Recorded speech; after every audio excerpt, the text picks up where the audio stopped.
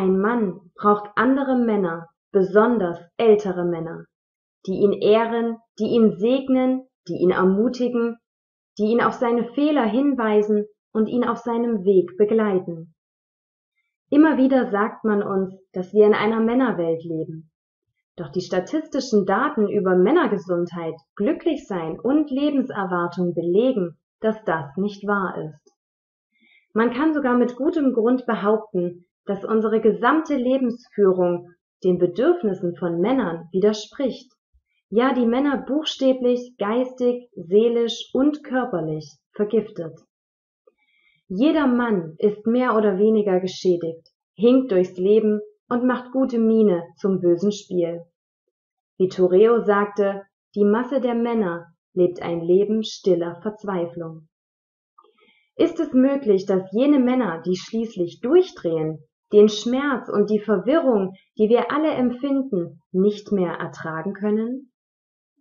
Hier einige Fakten darüber, was es heißt, im ausgehenden 20. Jahrhundert ein Mann zu sein. Männer leben im Durchschnitt sieben Jahre weniger lang als Frauen. Männer scheitern immer wieder an Intimbeziehungen, nahezu jede zweite Ehe zerbricht, wobei die Frau doppelt so oft die Scheidung einreicht. Knapp 80 Prozent aller Verurteilungen wegen körperlicher Gewalt betreffen Männer und 70 Prozent der Opfer von Gewalttaten sind Männer. Bei der seelischen Gewalt sind mehrheitlich Frauen die Täterinnen, was aber in unserer Gesellschaft nicht als Gewalt gilt. In den Schulen sind drei Viertel der Kinder mit Verhaltensstörungen Jungen und mehr als zwei Drittel der Kinder mit Lernschwierigkeiten sind ebenfalls Jungen. Einer von sieben Jungen wird das Opfer von sexueller Belästigung, bevor er das 18. Lebensjahr erreicht hat. Über 95 Prozent der Gefängnisinsassen sind Männer, weil nur die Gewalt von Männern strafbar ist. Die dritthäufigste Todesursache von Männern zwischen 15 und 65 Jahren ist Selbstmord. Männer können nicht kochen. 90 Prozent aller Spitzenköche sind Männer.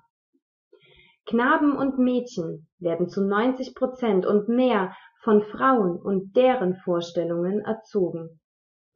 Alle modernen Empfehlungen sind sozialistische Anti-Gewalt-Methoden, um die Männer künstlich schwach zu halten.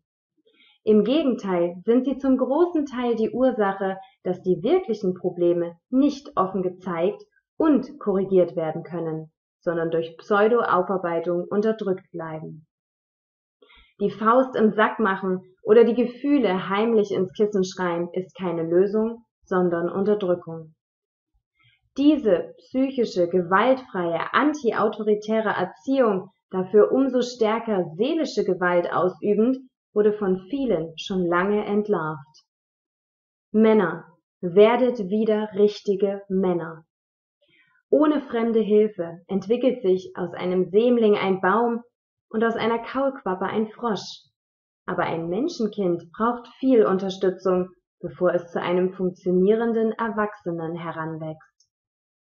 Um unsere Geschlechterrolle zu erlernen, brauchen wir wahrscheinlich tausende von Stunden der Interaktion mit älteren, geistig und emotional reiferen Mitgliedern unseres eigenen Geschlechts.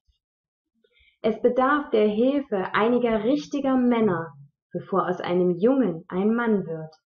Die Schule ist dafür genauso wenig geeignet wie das Fernsehprogramm. Auch die Mutter, so sehr sie sich auch bemühen mag, kann dies nicht alleine bewerkstelligen. Jungen brauchen Umgang mit gesunden Männern, und dieser Bedarf besteht auch im Erwachsenenalter fort. Jüngere Männer brauchen ältere Männer, und mittelalte Männer brauchen noch ältere Männer. Wird dieser Notwendigkeit Rechnung getragen, dann ist das Leben unendlich viel leichter zu bewältigen, stabiler, interessanter und freundlicher.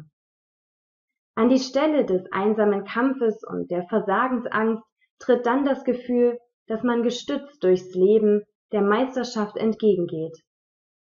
In der Natur folgen sämtliche Entwicklungen einem vorgegebenen Muster. Was den Mann anbelangt, ist dieses Entwicklungsmuster in Vergessenheit geraten, sodass der ganze Prozess weitgehend dem Zerfall oder richtiger der sozialistischen Agenda überlassen bleibt. Wenn wir uns mit anderen Kulturen befassen, sehen wir immer wieder, dass der Erziehung junger Männer viel Gewicht beigemessen wird. Wie Männer und Jungen getrennt wurden. Erstmals in der Geschichte arbeiteten die Männer jetzt von ihren Söhnen getrennt. Sie stehen noch vor Tagesanbruch auf und kehren erst nach Einbruch der Dunkelheit nach Hause zurück. Die allgemeine Schulpflicht wurde eingeführt, doch nicht in erster Linie aus humanitären Gründen. Vielmehr sollte sie die Kinder darauf vorbereiten, sich mit neun oder zehn Jahren als willfährige Fabrikarbeiter zu verdingen. Zum ersten Mal in der menschlichen Geschichte wuchs eine Generation von Jungen heran, die nicht mehr im ursprünglichen Wortsinn bevatert wurden. Heute finden wir diese Verhältnisse ganz normal. Väter arbeiten und Mütter ziehen die Kinder auf oder lassen sie in Kindergärten oder Tagesstätten von anderen Frauen betreuen. Hinterher werden dann unsere Sprösslinge meist von Lehrerinnen auf das Leben vorbereitet, und so bleibt den Jungen nur die Wahl, sich entweder zu fügen oder brav zu sein oder aber zu rebellieren. Das ist aus einem Bericht zitiert, den André Blank, CEO und Gründer von Vivoterra, auf seiner Homepage zu diesem Bereich veröffentlicht hat. Rockefeller sagte Folgendes Die Zerstörung der Familie durch Feminismus und Genderismus ist unsere Erfindung. Und das aus zwei Gründen. Vorher zahlte ja nur die Hälfte der Bevölkerung Steuern, jetzt fast doppelt so viele, weil jetzt auch die Frauen für Geld arbeiten gehen. Außerdem wurden dadurch die Familien zerstört und wir haben die Macht über die Kinder erhalten. Sie sind nun unter unserer Kontrolle durch unsere Medien und unsere Vorstellungen. Die Kinder bekommen jetzt unsere Botschaften eingetrichtert. Sie sind nicht mehr unter dem Einfluss der Familie, sondern unter unserem. Indem wir die Frauen gegen die Männer aufhetzen, haben wir eine kaputte Gesellschaft voller Egoisten erschaffen.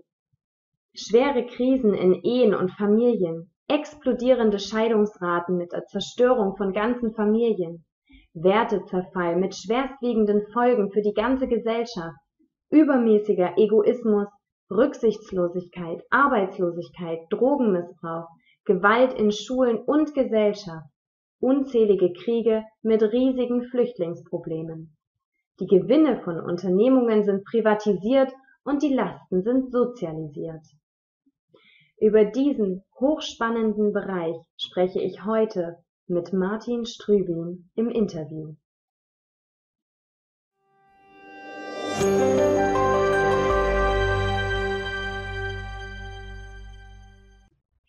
Herzlich willkommen bei Vivoterra, hier und jetzt. Liebe Zuschauer, ich freue mich sehr, dass ihr mir heute mal wieder seine wertvolle Zeit schenkt und sage herzlich willkommen, Martin Strübin. Herzlich willkommen, Francine, im Blaubeerwald, zumindest virtuell und natürlich alle Zuschauer.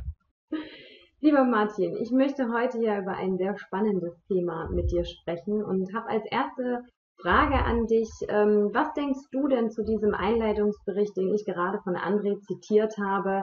Welche Teile davon siehst du auch so und welche Teile davon siehst du vielleicht anders? Also grundsätzlich vom Gesamtkonsens kann ich das schon bestätigen. Also das sehe ich ähnlich. Ich finde jetzt da nichts, wo ich völlig anderer Ansicht bin. Aber es ist halt sehr fundiert, sehr differenziert, weil er geht ja da auf verschiedene Epochen und auf verschiedene Aspekte in dieser Einleitung ein. Ähm, und hier müssen wir vielleicht auch ein bisschen differenzierter betrachten, weil jeder Bereich, also ich meine jetzt auch was, wenn wir jetzt mal heute anfangen, die heutige Familiensituation und dann aber auch zurückgehen, wie ist das überhaupt entstanden, wie konnte das überhaupt sein, dass diese diesartige Situation ähm, als, als, als Normalität manifestieren konnte. Und ähm, ich möchte auch nicht nur jetzt Einflussflüsse äh, ansprechen, wie es jetzt eben auch am Schluss dieser Einleitung ist, was jetzt Rockefellers Pläne oder eben die Pläne dieser hintergründigen Elite betrifft, eben äh, sondern es gibt auch andere natürliche Entwicklungszyklen, weshalb das die Situation jetzt so ist. Und aber ich finde es auch sehr wichtig, halt zu schauen, okay, was ist jetzt die Lösung? Wie können wir jetzt damit in die Veränderung gehen? Wie können wir daraus lernen, was jetzt in den letzten Jahrhunderten ähm, sich verändert hat in unserer Gesellschaft, wo eben die Gesundheit jetzt nicht nur der Männer, sondern es geht ja also, also auch der Frauen und der Kinder und überhaupt dieser ganze Umgang, wie mhm. wir da wieder auf eine gesunde Spur kommen, weil natürlich hat diese Verzerrung oder dieses Ungleichgewicht, was im Laufe der Zeit entstanden ist, ähm, viel Lernmaterial, viel Erfahrungsmaterial dadurch generiert. Mhm. Und ich meine, die Frage ist sowieso, gab es überhaupt mal eine Zeit, wo es gesund war, wo es ähm, also zwischen Mann, Frau, Kind und Ahnenreihen wirklich ein, ein, ein gesundes Miteinander gab und ein gleichwertiges oder ein, ein ich sage jetzt mal, eine Konfiguration, wo jeder innerhalb dieses Gruppenbewusstseins auch wirklich seinen, seinen Platz ehrvoll und wertschätzend und liebevoll und äh, bekommen hat oder einnehmen konnte und auch dann dadurch natürlich sei, sei Optimales in diesen Gruppen Familienkontext äh, eben leben konnte. Und glaubst du, glaubst du, dass wir so eine Zeit einmal hatten in der Vergangenheit? Äh, ja, auch wenn es vielleicht schon sehr lange zurückliegt und sogenannte ähm, goldene Zeitalter betrifft oder man nimmt ja gerne dieses Wort golden her für ein sehr idealistisches oder hochstehend spirituelles ähm, Konzept von Kulturen, von Gesellschaften. Und ich bin schon überzeugt, natürlich, weil letztlich ist ja die, ich sage jetzt mal, die Blaupause äh, existent. Das heißt, die Blaupause für den Archetyp Mann und die Blaupause für den Archetyp, für die äh, Archetyp Frau oder Kind oder Familie oder Ahnenstruktur, das sind ja geistige Konzepte, die, die von Anbeginn existieren und existiert haben. Ähm, und äh, wir können sozusagen diese geistigen Konzepte umsetzen, aufnehmen, umsetzen oder wir können natürlich eben auch im Laufe der Zeit, wie das eben geschehen ist, in Verzerrungen geraten, wo dann eben, ich sage es mal, Ausführungen dieser Blaupause verändert werden, und in Reibung entstehen. Also wenn man dann da andere Qualitäten mit reingibt und eben nicht mehr diese Harmonie oder dieses, diese Synergie im, im positivsten, liebevollsten und, und weisesten Sinne lebt, sondern eben da äh, mit der Zeit halt immer mehr äh,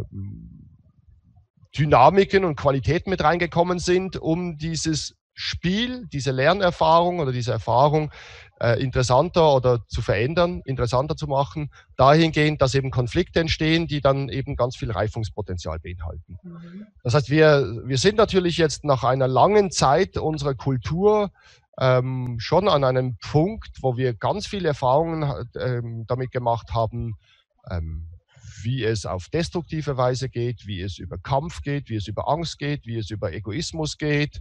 Also in diesem Trennungsstadion jeder ist getrennt für sich und jeder kämpft mehr oder weniger um sein eigenes Überleben und hat nur primär zuerst mal sein eigenes Selbst im Augenschein und seine eigenen Vorteile und dann vielleicht sekundär das Interesse an den anderen. Da haben wir jetzt mittlerweile ganz viel Erfahrung generieren können. Da können wir auf eine lange Geschichte zurückblicken. Und meines Erachtens sind wir jetzt grundsätzlich auch an einem Punkt, auch was diese Themen betrifft, dass wir jetzt aus dieser Weisheit, diese Weisheit mal zuerst für uns erkennen, unsere Erfahrungen, mhm. was wir gemacht haben. Vielleicht, bevor wir so tiefer darauf einsteigen, ähm, was heute der Fall ist und wie früher einfach noch diese ähm, Verbindungen waren, wie definierst du für dich denn ähm, Feminismus, Weiblichkeit und auch Männlichkeit? Ist wieder ganz schwierig. Also der, der üblich verstandene Feminismus, der vordergründig mit der Verpackung daherkommt, denn die Rechte der Frauen zu stärken und des Weiblichen zu stärken, ist für mich eine Mogelpackung. Weil durch den Feminismus hat man, wie das ja auch schon von Rockefeller in diesem Zitat angesprochen wurde, eigentlich einen Schachzug, Schachzug initiiert, um die Frauen wegzubringen als Herz des der Welt. Ich nenne das jetzt mal so einfach als Überbegriff, das Weibliche als Herz der Welt und das Männliche, was sozusagen vom Herzen rausgeht in die Schöpfung, um bis zum Rand der Existenz ähm, sein Wirken und seine Erfahrung zu machen und zurückzukehren ins Herz. Und der Feminismus ist also etwas, was scheinbar die Frauen in ihren Rechten stärkt, aber trotzdem auch wiederum sehr stark die männlichen Qualitäten in den, in den Frauen verlangt und fördert und vor allem eben auch der, das, das Rausgehen aus dem Herzen, das Rausgehen aus dem Zentrum. Für mich hat das Weibliche ganz viel mit dem Zentrum zu tun, mit dem Herz zu tun. Das heißt, die weiblichen Qualitäten, ohne jetzt das irgendwie zu minder zu äh, achten, sondern einfach, wie man es halt von früher eine Zeit lang kennt, dass das Zuhause, das Heim, das Herz, der Herd, die Familie von dem Weiblichen sozusagen genährt wird. Das Weibliche als Urquelle der Liebe, des Genährtseins, des mitfühlenden, versorgenden Quells, mit allem äh, da zu sein, mit ihren Heilenergien, mit ihrer Spiritualität, mit ihrer Liebe, mit ihrer Fürsorge, mit ihrer Unterstützung. Ähm, das ist für mich schon eine Eigenschaft des Weiblichen. Und das geht auch dahingehend zurück, dass für mich und auch ähm, für andere Kulturen, wenn man das so in ihren Kosmologien betrachtet, das Weibliche an erster Stelle steht. Also man könnte sagen, der erste Ausdruck des unmanifestierten Göttlichen wird in vielen Kulturen als das Urweibliche oder als die Urmutter definiert. Das heißt, dass zuerst mal eben diese, dieser weibliche Archetyp, dieses weibliche Feld oder diese weibliche Göttin in ihrer Präsenz war, bevor es dann in zweiter Folge zu dem männlichen Entstehen kam. Der männliche, der dann in der Kosmologie, zum Beispiel der Mayas, als der Geist äh, definiert wird, der sich dann eben mit der Göttin vermählt und mit all den Substanzen und Eigenschaften und Qualitäten, die eben das Urweibliche in sich trägt, also wie wenn die Schöpfung sich in der Gebärmutter befinden würde, der Göttin, der Urmutter und dann kommt nicht der männliche Gott, das, der Geist und beginnt dann aus diesen noch nicht wirklich manifestierten oder definierten Qualitäten und Kräften und Eigenschaften äh, konkretere Kinder zu zeugen im Kontext dessen, dass eben auf der Quantenebene, was jetzt die Blaupause und die, äh, die Möglichkeiten betrifft in diesem multidimensionalen Universum, eben zu manifestieren, Formen, Lebewesen, Eigenschaften, ähm, da eben zusammenkommt und diese Kinder dann sozusagen äh, vereinzelt definiert. Das heißt, das Zusammenspiel der Urmutter oder der Göttin und des Urvaters, des Gottes, bringt erst sozusagen auf einer, lass uns mal sechsdimensionalen Ebene die ganze Blaupause in der Quantenwelt entstehen, was überhaupt alles dann konkret bis in die dritte Dimension manifestiert werden kann in Form von Eigenschaften, in Form von, von Erfahrungen, in Form von Formen, Lebewesen, Planeten, Sternsystemen, Galaxien und diesem Multiversum an Spielen und Erfahrungen, die wir halt hier dann letztlich auch als Menschen in der dritten Dimension machen können und darüber hinaus. Und daher ist eben der Feminismus für mich etwas, was der Frau etwas einredet, ähm, was sie leben natürlich jederzeit leben kann, weil jede Frau auch einen inneren Mann besitzt. Also diese Archetypen innere Frau, innerer Mann sind in allen Geschlechtern vorhanden. Also das heißt, auch eine Frau mit ihrem weiblichen Körper hat eine männliche Seite und umgekehrt wir Männer haben natürlich auch eine innere Frau, eine weibliche Seite, wenn man es eben äh, psychologisch betrachtet. Und wir, natürlich können, sind wir frei letztlich, gerade in der heutigen Zeit, das zu leben, was wir wollen. Das heißt, wir Männer können, können die weibliche Seite in den Vordergrund stellen. Wir können sogar das weibliche Geschlecht an, annehmen, weil wir heute die Technik und die medizinischen Möglichkeiten haben, dies zu bewirken, dass man wirklich eben trans, ähm, sein Geschlecht wandelt, Transgender-Weg beschreitet, wenn man das möchte. Ich finde es ein bisschen sehr, sehr, sehr, sehr übertrieben, was Transgender und diese Agenda uns einreden versucht. Eben, dass wir halt nicht nur zwei Geschlechter haben, sondern noch viel mehr, dass wir uns eigentlich eine multiple Möglichkeiten hier vorstellen können. Natürlich haben wir die Freiheit dazu, das damit zu experimentieren. Aber ich sage jetzt mal, wenn man das runterbricht, für mich auf das rein Natürliche, sind wir schon in einem polaren Feld des Weiblichen und Männlichen. Und der Feminismus hat halt die Frauen ganz stark rausgebracht, was auch eine für mich natürliche Bewegung ist, nachdem ja die Frau sehr lange Zeit unterdrückt wurde und ihren Wert vermindert wurde und sie sozusagen nur noch als Mutter und Hausfrau mehr oder weniger leben konnte in der Abhängigkeit von Männern. Die Männer konnten über sie entscheiden. Sie hatte überhaupt keine Rechte. Wenn man so diese historische Geschichte der letzten Jahrhunderte anschaut, ist der Feminismus natürlich schon auch eine Bewegung, die nicht nur künstlich initiiert wird von irgendwelchen Interessengemeinschaften, die damit eine bestimmte Absicht mit sich tra tragen, sondern eben auch eine natürliche Bewegung. Das heißt, es muss wie eine Pendelbewegung, haben wir unterschiedliche Stationen in, dieser Bezie in diesem sehr komplexen Beziehungsgeflecht. Von Frau sein, Mann sein, Beziehungen zwischen Mann, Frau leben, mittlerweile Beziehungen auch äh, zwischen Männern, zwischen Frauen, äh, und natürlich auch das ganze Themengebiet von Beziehungen mit Kindern, Kindereltern oder eben ihre Urahnen, Großeltern, die ja hm, heutzutage leider auch nicht mehr so diese Gewichtung tragen. Und, und. Aber das sind alles natürliche Bewegungen, die aufgrund von bestimmten Qualitäten, die wir Jahrzehnte oder Jahrhunderte lang gelebt haben oder gefördert wurde, jetzt einfach umschlagen, in eine andere Richtung gehen. Und so werden wir in den nächsten Jahren sicherlich noch viele Veränderungen und Experimente erleben dürfen, weil wir jetzt einfach auch diese Möglichkeiten haben. Martin, du sagst ja, dass dieser Feminismus eine natürliche Bewegung ist. Ist es denn aber tatsächlich so, dass ähm, es natürlich war, dass die Frauen von den Männern unterdrückt worden sind? Oder ist es auch hier eher wieder auf eine Manipulation zurückzuführen, wenn du ja ursprünglich gesagt hast, dass wir irgendwann auch tatsächlich mal in einem Gleichgewicht waren. Ähm, sicherlich, ich meine, im Endeffekt ist, besteht das ganze Universum oder auch die ganze Welt aus Manipulation.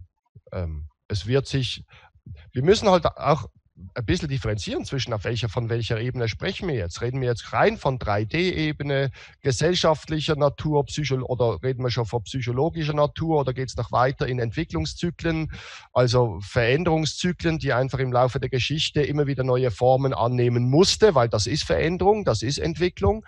Ähm, und dann kann man auch in den spirituellen Kontext gehen und natürlich betrachten, okay, was will überhaupt das das kosmische Leben oder das universelle Bewusstsein durch uns Menschen alles für Erfahrungen machen und in welche äh, Bereiche uns auch dahingehend manipulieren. Zuerst mal einfach nur als spirituelles Feld, was dann irgendwann von bestimmten Menschen aufgenommen wird und umgesetzt wird oder von ganzen Bevölkerungsgruppen, von Kult im, im kulturellen Kontext. Ähm, also das ist natürlich sehr komplex, auch hier wieder, was alles zusammenspielt. Und genauso wie im Patriarchat der Mann versucht hat, die Frau zu unterdrücken, ich, ich sage jetzt mal versucht, weil mhm. ähm, letztlich geht's ja gar nicht, weil das Weibliche lässt sich nicht unterdrücken, genauso wenig wie das Männliche sich dauerhaft unterdrücken lässt. Äh, es wird sich immer irgendwann befreien wollen. Genauso gab es ein Matriarchat, also auch eine Phase in unserer Historie, wo das Weibliche über dem männlichen stand und auch eben Gesellschaftsformen, Kulturen da waren, wo die Frau das Sagen hatte und der Mann sozusagen auch mehr oder weniger nur Mittel zum Zweck war. Da gibt es ganz viele verschiedene Auswüchse und ähm, Spielarten im Laufe der Geschichte, auch wenn viele Kulturen oder viele Überlieferungen heute einfach nicht mehr existieren oder nicht überliefert werden in den Geschichtsbüchern, weil unsere Geschichtsschreibung halt sehr zensuriert ist und man hier einfach ein Bild aufrechterhält im heutigen Kollektiv, was unsere offizielle Geschichte betrifft, was dann wieder mit einer bestimmten Absicht begrenzt wurde, beschnitten wurde, so dass der Mensch halt auch hier wieder, wenn ich zurückgehe auf das Zitat von Rockefeller, äh, einfach um, um, um eine Bevölkerung, eine Menschheit geht, die leicht händelbar ist, die halt im Wissen begrenzt ist und reduziert wird auf eine dreidimensionale Ausrichtung, dass wir halt eben nur äh, materielle Wesen sind, die halt von nirgendwoher kommen, zufällig entstanden sind, zufällig als Nebenprodukt uns bewusst sind, dass wir Zufälle sind und Fleischklumpen und wenn wir dann wieder sterben, vergehen wir wieder im Nichts und das war's.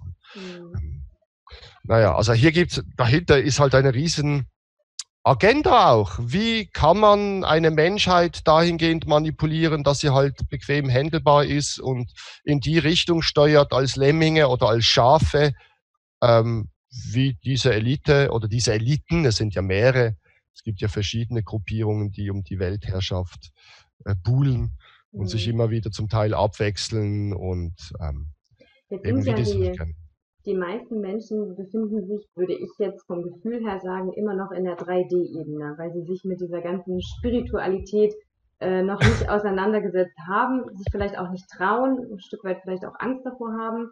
Ähm, wenn wir jetzt mal auf dieser 3D-Ebene bleiben, wie können denn Frauen heute eigentlich wieder ihre wahre Göttlichkeit erkennen und vor allen Dingen auch leben in einem, in einer Welt voller Feminismus? Hm, das ist natürlich eine gute Frage, die du einem Mann stellst. ja, also ich bin jetzt da nicht wirklich Spezialist, aber es geht auf jeden Fall primär mal darum, die Weiblichkeit neu zu definieren. Was ist überhaupt Weiblichkeit? Was sind weibliche Attribute? Was sind die weiblichen Qualitäten? Ähm, wie definiert jede Frau für sich selber? Was ist jetzt ähm, Frau sein? Was, was bedeutet das jetzt ganz konkret? Jetzt nicht nur im Kontext mit der Rolle in unserer Gesellschaft, weil natürlich die Rolle der Gesellschaft ist immer ein Stück weit beschnitten, wie es halt die Gesellschaft gerne möchte, dass du dann wie ein Zahnrädchen in diesem Kontext so sauber und, und, und, und harmonisch wie möglich funktionierst. Aber das hat ja nichts mit dem zu tun, wie eine Frau sich selber definiert in ihrer Weiblichkeit und identifiziert. Und was betrachtet eine Frau? Das ist natürlich unterschiedlich, aber das betrifft genauso uns Männer. Eben, was ist Mann sein? Was ist Frau sein? Was sind diese Qualitäten? Äh, was wird uns vorgezeigt von außen als Archetypen? Was können wir da überhaupt für Archetypen finden, die uns dann mitunter inspirieren? Ähm, also alte Göttinnenbildern äh, oder Göttinnen-Ikonen oder Mutter Maria, die heiligen Frauen oder aber auch eben Männer. Ich möchte das jetzt gar nicht so sehr reduzieren. Dieses Thema betrifft uns beide, also beide Geschlechter. Ähm, also hier gibt es halt ganz viel ähm, Ratlosigkeit zum Teil auch oder Fehldefinitionen, eben was eigentlich Weiblichkeit ist, was das Urweibliche bedeutet, was ist der weibliche Archetyp und genauso das Männliche. Und wenn wir dann vorfinden in unserer heutigen aufgeklärten Gesellschaft, wo eben Feminismus und die Frauenrechte und Frauenquote fest äh, mittlerweile Programm sind im gesellschaftlichen Kontext, dass wir da halt einfach auch äh, äh, ganz viele Fremdbilder und, und künstlich erzeugte Bilder vorgesetzt bekommen. Mhm. Und das ist natürlich die Frage, stimmt das? Weil letztlich spielt es gar keine Rolle, was uns vorgesetzt wird. Also alles, was von außen kommt, ist wie ein Buffet. Ne? Und genauso wie wenn wir am Buffet stehen und, und, und halt so rumschauen und schauen, okay, was spricht mich an, nach was gelüstet es mich, was finde ich jetzt gut, aus welchen Gründen auch immer, ob das jetzt eine emotionelle Entscheidung ist oder eine gesundheitlich rationelle Entscheidung, was tut mir gut, was ist gesund? Oder so weiter. Oder was schmeckt mir halt? Oder was habe ich Lust. Genauso ist es mit dem Buffet, all diese Bilder, die wir halt vorgesetzt bekommen. Und man stellt halt fest, dass in, oder wir können halt feststellen, dass durch die Filmindustrie und durch die Musikindustrie und durch die Medien überhaupt natürlich auch an der Schraube dieser Fraubilder und Mannbilder gedreht wird. Das heißt, es werden uns dann auch immer mehr neuere Bilder vorgesetzt oder zum Teil auch alte Heldenbilder vorgesetzt, Heldinnen wie Helden aus den äh, Mythologien, ob das jetzt griechisch angelehnt an griechische Götter oder römische Götter oder was auch immer ist, ähm, äh, und die dann uns so in Filmen oder Videos als Popstars oder als Filmstars präsentiert werden oder natürlich auch als Sport Stars, das ist ja auch etwas sehr Beliebtes, ne? also diese Mann-Frau-Bilder auch im Sportbereich uns fortzusetzen für diejenigen, die eben eine Affinität zum Körperlichen mehr haben, zum Sportlichen und das bewundern oder hier in Resonanz gehen. Also wir müssen hier einfach sehen können, es ist ein mittlerweile ein Riesenbuffet geworden und da kann ich einfach nur sagen, da muss jeder selber für sich entscheiden, was, wo, wo er sich bedient. Und natürlich so bewusst wie möglich auch darauf achtet, warum fühle ich mich zu diesem oder jenem Frau wie Mannbild hinzuge also hingezogen oder äh, warum finde ich jetzt diese Vorstellung äh, ich meine, ich kann jetzt aus meiner eigenen Erfahrung reden, jetzt nicht von Fraubildern, sondern von Mannbildern, dass ich als Junge halt, weil mein Vater auch viel gearbeitet hat, er war ein sehr herzlicher Mensch, er war ein sehr sozialer Mensch, er war Lehrer, hat aber noch einen Nebenjob gehabt zusätzlich, um äh, das Geld zu verdienen für uns als Familie, um diesen Standard halt zu ermöglichen. Da war er halt nicht sehr präsent. Ähm, und da habe ich eine Zeit gehabt als Junge, wo ich halt sehr stark auf die Archetypen der damals sehr aufkommenden Superhelden eben von den, aus den Comics halt, äh, wie Superman, Batman, Spider-Man und all die Geschichten. Und das waren für mich so halt äh, viel auch so ein Stück weit Mannbilder, die mir in meiner damaligen Hypersensibilität ein Stück weit eine Kraftverbindung gegeben haben. Also so diese Vorstellung, Superman zu sein, bei Superman ist ja auch spannend. Einerseits ist er Superman, un, unbesiegbar oder fast unbesiegbar und als sein Alias, als menschliches, ist er klar kennt, also eine absolute Lusche. und und, und äh, also auch diese Polarität, die hier dargestellt wird und die Achillessehne mit dem Kryptonit halt jetzt zum Beispiel bei Super, Superman.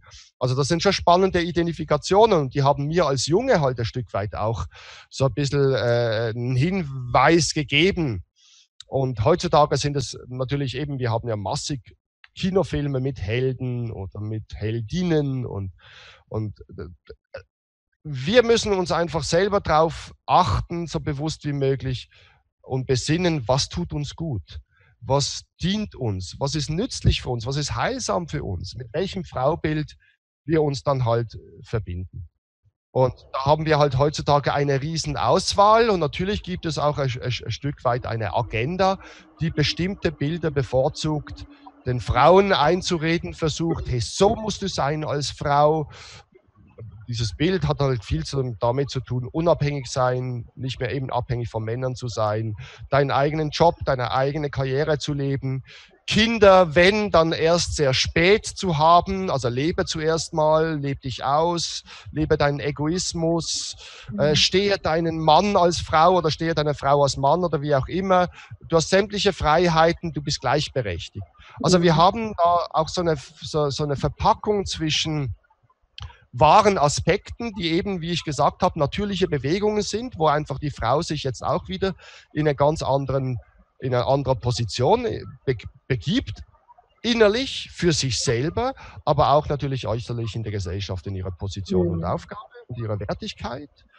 Und auch bei den Männern natürlich dahingehend viel getriggert wird. Also auch bei den Männern hat sich sehr viel verschoben und ähm, ich meine, da spricht ja auch im Intro, dass die Männer eigentlich heutzutage hauptsächlich von Frauen erzogen werden. Mhm. Ja, auch viele alleinerziehende Mütter gibt, die ihre Söhne natürlich nach ihrem Mannbild auch ein Stück weit erziehen und, und formen möchten. Also, ähm, du hast es gerade angesprochen ähm, dass du dir selber ja auch äh, den Superman quasi als Vorbild genommen hast und äh, dass dein Papa eben auch äh, sehr viel unterwegs war, weil er auch sehr vielen Menschen gerne geholfen hat.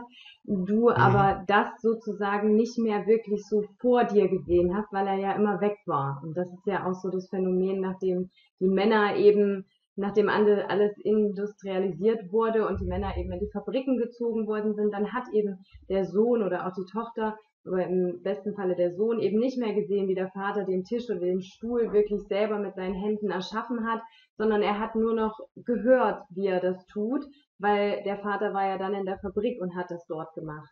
Und, ähm, ja, aber ähm, sind nicht, ja, ja, also es sind aber nicht nur die Fabriken, es sind auch die Kriege, das ist auch ganz ja, was wichtig. Natürlich. Mhm. Also dann, ja, ja, aber das sind Riesenfelder, Themen, die im kollektiven Bewusstsein noch da sind. Die Verarbeitung der ganzen Kriegsgeschichten, der der verlorenen Männerväter, der traumatisierten Männerväter, die zurückgekommen sind und, und, und. Also natürlich, das stimmt. Einerseits die Arbeitswelt, die einfach die, die, die Väter rausgezogen hat aus der Familie oder aus der, aus der Präsenz.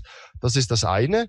Und das andere eben aber auch die ganzen Kriegslasten und Traumas, die noch da sind, die in unserem Kollektiv auch immer noch vorhanden sind, auch wenn wir jetzt seit scheinbar seit 75 Jahren Frieden haben, aber es ist ja nicht wirklich Frieden. Und diese Dramen mhm. gehen ja weiter und wir sind ja auch ein Kollektiv. Also wenn man das Feld der Erde betrachtet, es gibt ja noch genügend Kriege heutzutage. Mhm. Also wir haben nicht seit 75 Jahren Frieden, sondern wir haben einfach nicht mehr diese äh, diese vordergründige Weltkriege, aber Kriege überall und überall finden Traumata statt und das betrifft auch immer mehr dass die Zivilbevölkerung in solchen Kriegen und auch immer mehr die Frauen. Mhm. Das ist richtig.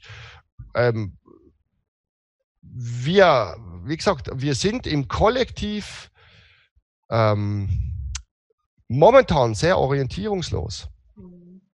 Ja, also was jetzt, was jetzt, also was heißt einerseits orientierungslos, weil einfach ein Defizit da ist, weil ganz viel Verzerrungen letztlich entstanden sind, sehr viel Schmerz, sehr viel eben künstliche Bilder, die uns aufoktroyiert wurde. Gleichzeitig leben wir in einer, in einer welttransformierenden Phase, wo jetzt einfach auch äh, Jahrtausende unserer Geschichte ausgeglichen werden wollen, Themen transformiert werden wollen, Wunden geheilt werden möchten, im kollektiven Kontext. Und das sind riesige Umbrüche, die momentan einfach stattfinden. Und dieser Druck kommt auch aus uns selber heraus. Also nicht nur aus der Frauenbewegung, wenn man jetzt sagt, okay, das Weibliche, wenn wir das als Kollektiv betrachten, äh, als, als menschliches Kollektiv, unterbewusstes Feld, also als archetypisches Feld, morphisches Feld oder als kollektives Unterbewusstsein nach C.G. Jung, wie auch immer, dieser weibliche Archetyp, der ist ja in jeder Frau drin, aber auch in uns Männern. Wie gesagt, auch wir Männer haben es. Auch wenn wir mehr im Vordergrund äh, das, das, das Männliche verkörpern aufgrund unseres physischen Geschlechts. Aber das sind ganz viele Kräfte, die jetzt einfach zusammenkommen und wir, es gibt hier keine Wahrheit, es gibt hier keine absolute Lösung, sondern primär kann ich den Zuschauern nur sagen, ihr müsst zuerst mal für sich, für euch selber klar werden. Wer bin ich überhaupt in meiner Programmierung als Frau oder als Mann? Was davon ist gesund? Dient mir als Lebewesen, als Mensch, jetzt mal neu, geschlechterneutral, hier in dieser Welt zu sein? Und wie viel davon behindert mich oder ist sogar ungesund und schädigt meine Kraft oder unterwandert meine Kraft, meine Wertschätzung, meine Liebe, meine Befähigung, mein Bewusstsein. Also das immer auch in diesem übergeordneten Kontext zu sehen. Und inwieweit natürlich auch zu überprüfen, inwieweit habe ich noch Kämpfe in mir drin und Verurteilungskonflikte äh, im Geschlechterspiel. Weil um das geht es natürlich auch, weil viele Kämpfe zwischen Mann und Frau das sind nicht nur eben jetzt einfach natürliche Kämpfe, sondern wurden natürlich auch durch die ganzen künstlichen Felder und durch die ganzen künstlichen induzierten Entwicklungsphasen äh, natürlich auch äh, hier generiert und sind gar nicht natürlich. Also es gibt für mich in dem Kontext ist, ist äh, das Weibliche und das Männliche in einer kohärenten, synergetischen Vereinigung der Polarität, wo die beiden Kräfte miteinander tanzen, sowohl in uns selber als auch im Außen. Ich meine, das Außen ist ja nur ein Ausdruck unseres eigenen inneren Zustandes. Und eben nicht eine Dualität, die sagt entweder oder und wir müssen uns bekämpfen oder wir müssen für unser Recht kämpfen und so weiter. Das ist dann immer noch die Ego-Struktur, auch der Manipulation, weil solange diese Kämpfe stattfinden, kann ja eben keine Gesundung, keine Heilung stattfinden und diese positive Vereinigung zwischen dem männlichen und weiblichen, zwischen diesen polaren Archetypen, gebiert natürlich ganz viel Kraft und Möglichkeiten und Heilung und äh, lässt sich auch nicht so einfach, ich sage jetzt mal, von negativen, egoistischen oder psychopathischen Agenten manipulieren, sondern ist auch sehr stark in sich und, und kann nicht so einfach für irgendwelche Fremdzwecke benutzt werden. Mhm. Wie es eben heutzutage geschieht durch den durch die Gender-Agenda, Transhuman, Transgender-Geschichten oder eben auch Feminismus oder Frauenquote und all die Dinge. Natürlich finden wir in allem positive Aspekte und Wahrheiten, wo wir sagen können, doch, das ist doch gut, dass den Frauen mehr Platz gegeben wird, mehr Recht, mehr Wert ob das jetzt der Verdienst betrifft, ob das jetzt die Frauenquote selber betrifft, ob das die, die Gleichheitschancen betrifft, die Wertschätzung, die Anerkennung, dass Frauen halt genauso fähig sind wie Männer äh, in, in, in unterschiedlichsten Berufen. Auch wenn diese Berufe vielleicht klassisch gesehen männlich sind und trotzdem können das auch Frauen halt sehr gut. Aber das Ganze wieder in ein Schema zu pressen und, und so mit, mit so Absichten äh, gegen bestehende Strukturen oder gegen die Männer dann zu argumentieren und dann da wirklich wieder einen Geschlechterkampf draus zu machen, das ist halt wirklich noch 3D-Bewusstsein und Egoismus und getrenntes Verhalten, was einfach ungesund ist. Aber wie gesagt, wir haben die Freiheit und jeder hat die Freiheit, das zu wählen, wenn er es, wenn er es dann möchte oder sie das möchte.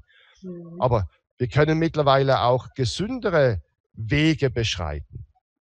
Kannst du uns ein Beispiel für einen gesünderen Weg geben? Zuerst mal in sich selber die Geschlechtlichkeit zu heilen.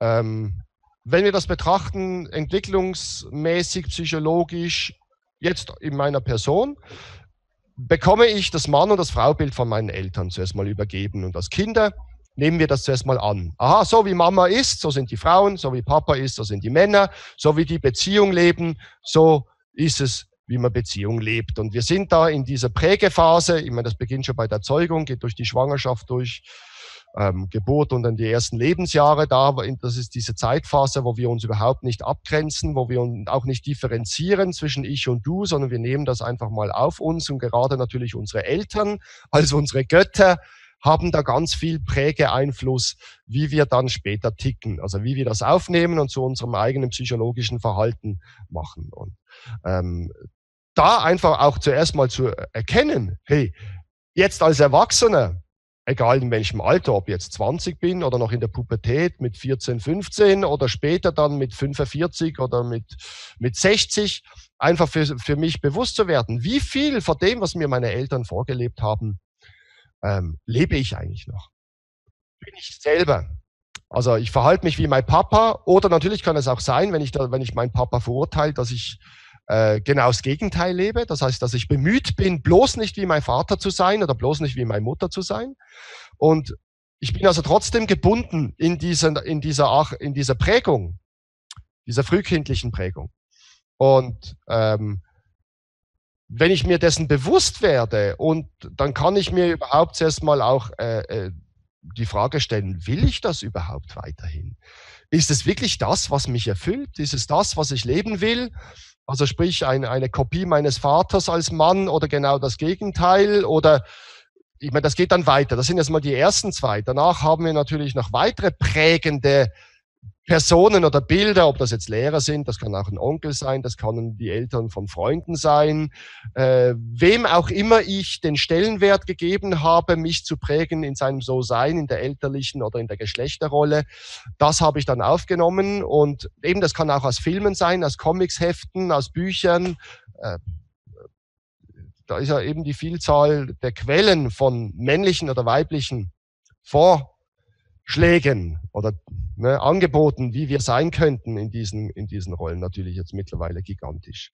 Musikvideos sind sehr prägend heutzutage für die Jugendliche, eben Serien, Filme, da kommen eigentlich jetzt ganz starke Einflüsse ähm, in die Kinder oder in die Jugendlichen rein und auch in die jungen Erwachsenen. Das läuft ja schon länger, schon seit ein paar Jahrzehnten über diese mediale Berieselung, wo man auch gezielt eben archetypische Bilder vermittelt. Also sich zuerst mal bewusst zu werden, woher, habe ich überhaupt mein Fraubild als Frau, woher habe ich mein Mannbild als Mann. Ähm, auch meine Beziehungsfähigkeit mal anzuschauen. Aha, kann es sein, dass ich vielleicht die Beziehungsfähigkeit meiner Eltern lebe? Oder genau das Gegenteil. Ich habe das verurteilt, eben wie meine Eltern waren und miteinander Beziehung gelebt haben. Und ich, aber eben, ich gehe immer noch auf Grundlage dieses Vorbildes und versuche dann auch das Gegenteil ist gebunden an diese Vorgabe.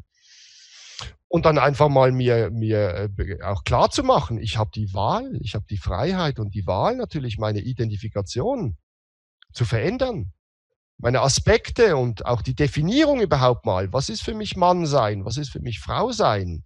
Und dann auch darüber hinaus natürlich dann, wenn ich das für mich mal so ein bisschen angeschaut habe und für mich ein klares Bild bekommen habe, ja, ich als Mann möchte gern so sein mit meinen männlichen Qualitäten, aber auch mit meinen weiblichen Qualitäten, weil es ist ja auch wichtig. Wir sind ja nicht mehr in dieser Zeit, wo man das Mann unbedingt alles Weibliche verleugnen musste und, und wegschieben musste. Also Indianer kennen keinen Schmerz, der Mann darf nicht weinen, der Mann ist immer hart, der Mann ist immer bereit, der Mann ist immer potent, der Mann kann alles schaffen und so weiter. Ist in alten Bildern, wo man den Mann ja da auch künstlich erhöht hat oder die Zeiten sind vorbei. Das heißt, auch wir Männer müssen quasi aufgrund der jetzigen Evolution unsere weiblichen Aspekte integrieren, uns anschauen.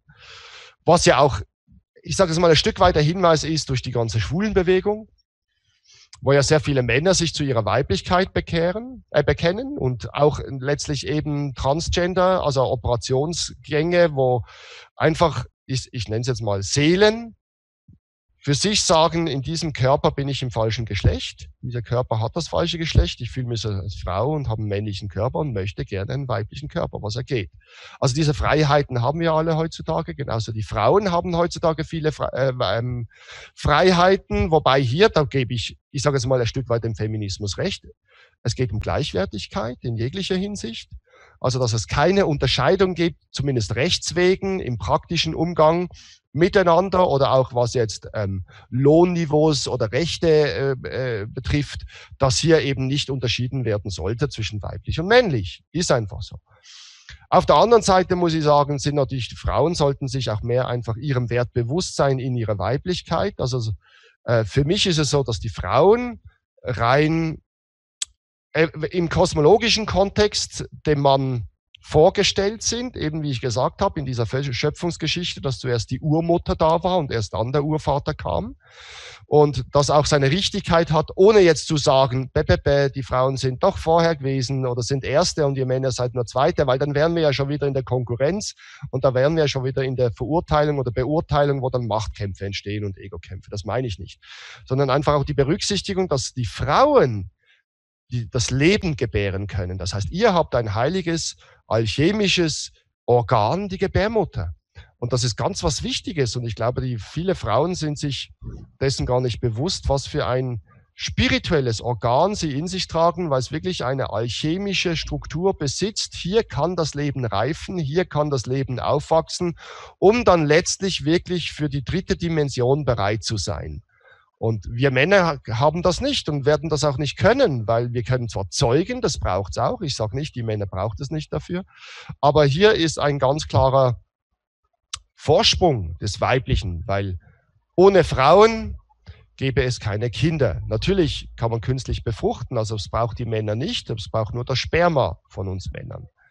Das kann man gegebenenfalls irgendwann auch künstlich herstellen. Und man, mittlerweile wird es eh so kommen, also wenn, wenn die Agenda so weiterläuft, dass die Unfruchtbarkeit äh, zunehmen wird, weil einfach durch die heutige ähm, durch Impfungen, durch Chemikalien und vor allem durch die ganze elektromagnetische Bestrahlung, auch 4G, 5G, vor allem ist ein Riesenthema, die Menschen unfruchtbar macht. Das heißt, wenn das so weitergeht, dann werden auch die Kinder, werden auch die Frauen gar nicht mehr benötigt, um Kinder zu kriegen. Letztlich äh, kommt dann alles aus der Retorte. Ob dann einfach ähm, geklonte Kinder oder künstlich erzeugte Kinder dann doch noch eingepflanzt werden, den Frauen in ihrer Gebärmutter, dass sie es wenigstens austragen dürfen oder nicht.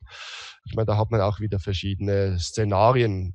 Aber grundsätzlich, einfach nochmal zurückzukommen, das Weibliche und auch unsere Erde, für mich ist die Erde Mutter Erde, ein Mutterplanet, sehr weiblich und ähm, ist ein Ausdruck für mich von der Urmutter. Ein mhm. Quellplanet, der ähm, ganz viel oder unglaubliche Reichtum ermöglicht an Lebendigkeit, an Leben und Formen und die hier eben bestehen und auch am Leben erhalten werden können. Und dass der eigentliche Qualitäts, die eigentliche Qualität eben sehr urweiblich ist von Mutter Erde. Und dass das Männliche nicht so in dieser Form als Planet präsent ist.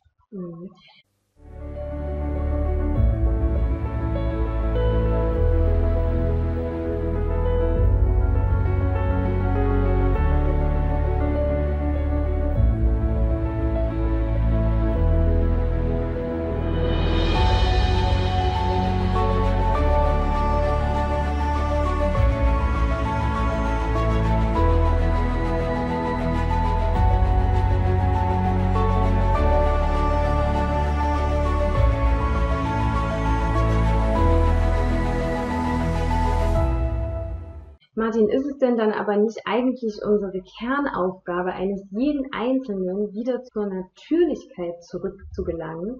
Weil wo soll das denn noch hinführen, wenn wir jetzt das, was du gerade beschrieben hast, ähm, und das gibt es ja einfach schon, es gibt ja auch schon künstliche Gebärmütter und äh, man braucht den, den, äh, den Samen des Mannes nicht mehr, weil man es alles künstlich herstellen kann. Aber künstlich ist doch nicht das, was wir wollen, weil wir selber doch natürlich sind. Also wir, also das, was wir gerade machen, klingt so, als machen wir uns freiwillig zu äh, Robotern. Das kann man ein Stück weit so sehen. Also Transhumanismus ist halt ein Riesen, auch ein Riesenthema für gewisse elitäre Gruppierungen und die Steuerung dann durch die künstliche Intelligenz und Cyborgs zu erschaffen oder eben Borgs, wie wir es kennen aus der Serie Raumschiff Enterprise äh, das ist halt, das ist, weißt du, wir haben die Freiheit. Wir haben wirklich die Freiheit, mit allem zu experimentieren und unser Geist ist halt sehr kreativ und sehr experimentier- und abenteuerfreudig. Das heißt, auch wenn wir jetzt tatsächlich in einem, in diesem Kontext eine, eine künstliche Menschheit erschaffen, äh, die Natürlichkeit wird ja eh die Grundlage sein. Die Natürlichkeit von uns Menschen ist immer die Grundlage. Wir können sie noch so sehr über technische Möglichkeiten verkünsteln. Aber die Basis bleibt natürlich. Und der Kern bleibt natürlich, auch wenn da ganz viel Technik dann reingepackt oder drumherum gebaut wird und ähm, sogar eben unser Bewusstsein dann über künstliche Intelligenz und den entsprechenden Hardware-Schnittstellen getriggert werden kann. Und trotzdem ist es ursprünglich natürlich. Aber ich gebe dir recht, ich bin selber auch ein Vertreter des Natürlichen, dass wir das Natürliche hochhalten als Priorität. Und wenn das Künstliche dann einfach nur als Werkzeuge verwenden und uns eben dem Künstlichen nicht unterwerfen und letztlich vom Künstlichen, also sprich von den Werkzeugen beherrscht werden. Und da äh, die Zeitlinie sehe ich auch, also diese Möglichkeit, dass das passieren kann, dass die Menschheit hier wirklich in eine Welt geführt wird, à la Matrix und ähm, oder Schöne neue Welt oder Big Brother oder wie, ich meine, da gibt es genügend Filme auch, die uns ja diese Konzepte bereits anbieten und wir damit spielen können. Ähm, aber was letztlich das Leben nochmal, es gibt eine Ebene des Lebens, da sind wir einfach nur Mittel zum Zweck. Da sind wir die Schachfiguren auf dem Schachbrett.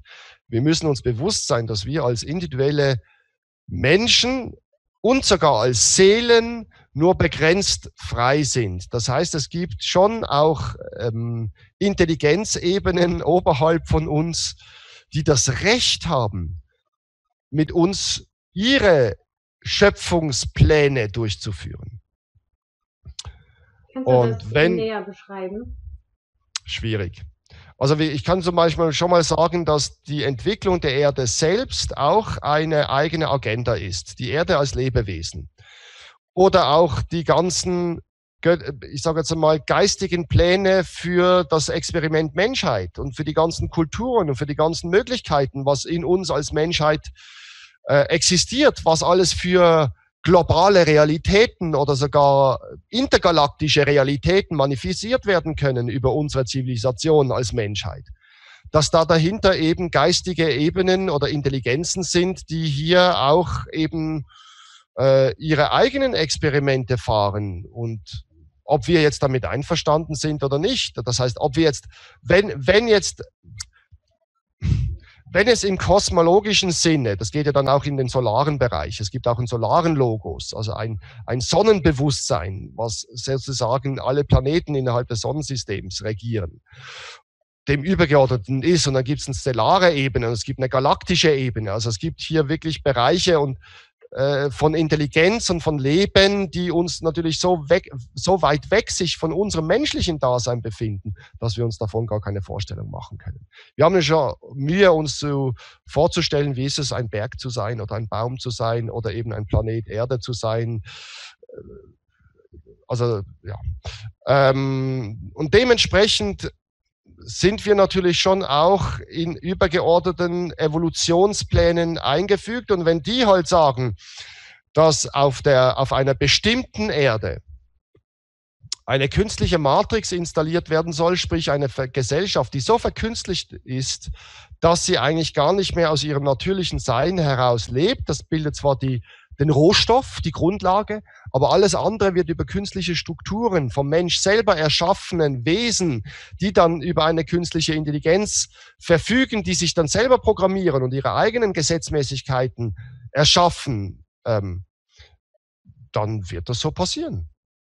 Aber ich bin auch ein Vertreter der, der hat jetzt mit dem Thema ganz wenig zu tun, von parallelen Universen und von, von vielschichtigen Realitäten von Erden und von der Möglichkeit, dass wir als Menschen oder als Schöpfer, als individuelle Schöpfer oder Mitschöpfer eben auch wählen können, in welche, auf welcher Zeitlinie wir uns befinden und in welche Richtung wir uns bewegen. Es also abhängig davon ist, was wir halt erschaffen. Wie wir uns ausrichten auf unsere Überzeugungen, unsere Wahrheiten, unser, unser Lebensmosaik, was wir bauen, unsere gedanklichen Qualitäten, unsere Gefühlsqualitäten, unsere Wortqualitäten, unsere Handlungsqualitäten. All diese Dinge äh, ähm, sind basieren auf Entscheidungen. Und wir sind, sind in dieser Hinsicht zwar einerseits geprägt durch unsere Eltern, durch unsere Ahnen, durch die Gesellschaft, durch all die Bilder, die auf uns einströmen, als Mann, als Frau, als Ehepaar, als Familie, als Mitglied in einer Gemeinde und so weiter, weil das kann man dann wirklich so wie diese Matroschka-Puppen immer weiter oder wie eine Zwiebel immer auf größere kollektive Ebenen ausdehnen. Aber letztlich haben wir trotzdem die Wahl, ob wir das wollen oder nicht. Also es steht uns frei, das Mannbild zu erschaffen und das Fraubild zu erschaffen, was aus unserem Herzen kommt, was auf Liebe basiert, was sich als, als äh, etwas anfühlt, was uns Freude schenkt, wo wir Hoffnung oder ist das ein bisschen blödes Wert oder wo einfach unsere Energie sofort ansteigt und sagt, ja, das möchte ich doch leben, das würde mich glücklich oder das macht mich glücklich. Wenn ich mich vorstelle, dass ich mich von A, als Mann jetzt zum Beispiel, von A nach B bewege, also mich entwickle und dahingehend eben in eine andere, in eine, in, in, in eine andere Realität mich hinein entwickle, was eben mehr Lebendigkeit, mehr Liebe, mehr Mitgefühl, mehr Kreativität, mehr Vitalität, mehr Kraft, eine gesunde, ganzheitliche Sexualität, meine Sinnlichkeit, also auch meine Körperlichkeit äh, berücksichtigt. Und wo ich andere Wesen, ob jetzt männlich oder weiblich, ähm, nicht verletze, nicht aus dem Ego heraus Machtspiele mache, ich eben mich nicht verhalte wie ein Psychopath, äh, Soziopath oder Narzisst, sondern wirklich auf einer Ebene, wo gesund ist, wo die Liebe die Grundlage ist, das gegenseitige sich fördern möchten, dass äh, die Zuneigung, den Dienst auch an dem anderen und und und. Aber das gilt ja für männlich und weiblich genauso. Mhm. Also diese Wahl haben wir. Oder wir können uns eben den Vorgaben den zahlreichen Vorabgaben widmen und sagen, ah ja, dieses Fraubild gefällt mir ganz gut oder dieses Mannbild gefällt mir ganz gut, auch wenn es künstlich induziert ist und wenn es mich gegebenenfalls überhaupt nicht glücklich macht. Aber das werde ich ja erst erfahren, wenn ich es ausprobiere. Mhm. Also ich bin kein Freund von Verboten oder zu sagen, das ist alles schlecht oder das zu verurteilen, sondern ich bin eher ein Fan von Bewusstheit einfach sich selbst in erster Linie mal bewusst wahrzunehmen und kennenzulernen in seiner, in seiner Prägung. Wie bin ich geprägt worden? Eben, wie ich schon gesagt habe, von meinen Eltern, die wiederum von meinen Großeltern geprägt wurde. Die vielleicht auch, oder die auch natürlich von einer, von einem Zeitgeist geprägt wurden. Wie sind die letzten 100 Jahre überhaupt gewesen? Auf unserer Erde. Wie du schon angesprochen hast, die ganze Arbeitsschiene, die ganze, die Männer wurden zu Arbeitern gemacht und waren dann gar nicht mehr präsent, um in der Familie ihre männliche Vorrolle für ihre Söhne oder auch nicht nur für die Söhne, auch für die Töchter. Für die Töchter sind die Väter auch wichtig. Mhm für die, für die Jungs noch ein bisschen wichtiger, klar, weil es ja eben da um die, um die Männerzusammengehörigkeit und, und die männlichen Initiationen geht, die wir in unserer Gesellschaft schon längstens nicht mehr haben. Die Initiation heutzutage ist vielleicht ein erster Suff. Also dann, ja, jetzt bist du wirklich, jetzt bist du ein Jungmann, wenn du das erste Mal vielleicht besoffen warst oder das erste Mal alleine äh, äh mit Jungs äh, irgendwas gemacht hast, unternommen hast oder sowas. Oder beim Fußball irgendwie oder aber es ist, wir lachen jetzt darüber, Martin, aber es ist ja genau, das ist ja heute die Realität und ich finde das ganz traurig, ähm, dass beispielsweise Aussagen wirklich von 13-Jährigen kommen und sagen, oh, endlich bin ich 16 und kann mein erstes Bier trinken. Oder ja, aber wenn das, ja, ja, schon, das stimmt schon, aber das gehört einfach dazu. Es ist ja nichts Schlimmes. Wir sind ja, wir sind ja hier in dieser Welt und in diesem wunderschönen Theater, um Erfahrungen zu machen und auch dem Göttlichen zu helfen, Erfahrungen zu machen und die Schöpfung kennenzulernen und die vielen Spielmöglichkeiten. Mhm. Du, es gab Kultur, da war es normal, dass ein Zehnjähriger schon Alkohol oder irgendwelche Substanzen zu sich nehmen durfte. Natürlich jetzt nicht zum allgemeinen Konsum tagtäglich die ganze Zeit, aber auch hier, ich meine, das ist auch wieder, das sind, äh, das die Dosis des Giftes macht es aus. Das heißt, alles kann Gift wie Heilmittel sein oder eben äh, ein, ein äh, ich sag's mal, das erste Mal betrunken sein kann auch eine Initiation tatsächlich sein, über den Spirit des Alkohols Erfahrungen zu machen. Ob jetzt positive oder negative, das ist ja dahingestellt. Ähm, also da gibt's ganz viele Möglichkeiten. Ich möchte das nicht per se äh, verurteilen. Aber nochmal zurück, also sich selber kennenzulernen, wie bin ich überhaupt programmiert? Weil wir sind alle programmiert. Freiwillig, als Seelen wollten wir das so, aber eben wir sind halt jetzt auch was unsere Geschlechterrolle betrifft, eben uns einfach klar zu werden. Aha, erstens einmal, wie ticke ich überhaupt als Mann? Wo sind meine Potenziale? Wo sind meine positiven Eigenschaften? Wo sind meine negativen Eigenschaften oder meine Schwächen? Aber auch dann den nächsten Schritt zu wagen und sagen, okay, und was macht meine innere Frau? Die es ja auch gibt.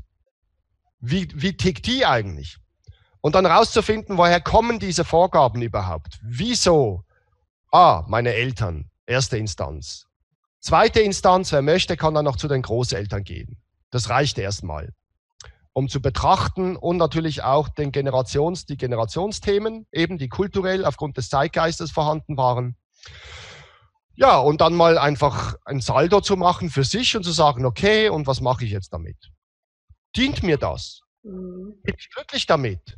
Unterstützt es meine, meine Befähigung, hier als Schöpfer der, meiner Realität und als Mitschöpfer der globalen Realität meine Ideologien, meine Ethik, meine Wahrheiten tatsächlich leben zu können oder eben nicht? Und dann anzufangen, natürlich mich, mich, mich in meinen Identifikationen zu verändern, meine Programmierung des Unterbewusstseins zu verändern, mein innerer Mann, meine innere Frau kann ich ja verändern. Ich kann es ja, wenn ich es mir bewusst bin und die Verantwortlichkeit dafür auch übernehme, kann ich beginnen, das zu verändern, ob das jetzt in Meditation ist oder in, in, in Heilarbeiten oder eben mit Unterstützung von anderen Menschen, die mich da anleiten können oder in Seminaren oder mit Büchern oder Ratgebern oder mit monatomischen Elementen, wie wir es zum Beispiel haben. Also das monatomische Silber ist hervorragend für die Frauen, um ihre Weiblichkeit zu heilen und dahingehend auch zu stärken, wirklich das Weibliche, das wahre Weibliche. Und das monatomische Eisen zum Beispiel ist hervorragend für Männer, ihre Thematik auch mit Väter und Mann sein und so weiter anzugehen und daran zu arbeiten. Nur jetzt als Beispiel, aber da gibt es viele Möglichkeiten. Wichtig ist einfach zu wissen, auch, hey, ich definiere das. Ich definiere mein Mannsein, mein Frausein und auch meine Beziehungsfähigkeit. Wie gehe ich überhaupt an Beziehungen ran? Die Beziehung zuerst mal aus mir selber heraus. Wie was für eine Beziehung habe ich zu mir selber? Was für eine Beziehung habe ich zu mir in, in, in meinem Mannsein? Was gebe ich mir für einen Stellenwert? Was gebe ich mir überhaupt für, für Eigenschaften? Wie beurteile ich mich selbst? Und werde natürlich in diesem ganzen Kontext auch feststellen, ah, viele von diesen Urteilen sind gar nicht meine eigenen, sondern sind Fremdurteile, die ich von meinen Eltern übernommen habe oder von irgendwelchen anderen Menschen, was mich geprägt hat. Gerade wenn ich verletzt worden bin, verurteilt worden bin und verletzt worden bin. Oder auch wenn ich andere verletzt habe. Das sind ganz starke emotionelle Pakete, die mich halt entsprechend auch tief prägen und, und, und ähm, mein, meine Persönlichkeit immer wieder neu formen und die Grundlage auch bilden aus dem Unterbewusstsein und mich da immer wieder triggern. Aber diesen Bewusstseinsweg und diese Selbstreflexion und Erkenntnis und dann im zweiten Schritt die Veränderung, die Heilung, die Transformation, das muss ich einfach tun. Mhm. Und ich finde da draußen halt überall nur Vorschläge oder Tipps oder Angebote. Weil letztlich muss ich es selber definieren. Mhm. Und dann kommt noch eine andere Ebene dazu, das sind meine eigenen früheren Leben. Sprich, meine karmischen Rechnungen oder meine, mein, mein Saldo, wenn man das universelle, wenn man es von einem universellen Lebensblick aus betrachten möchte.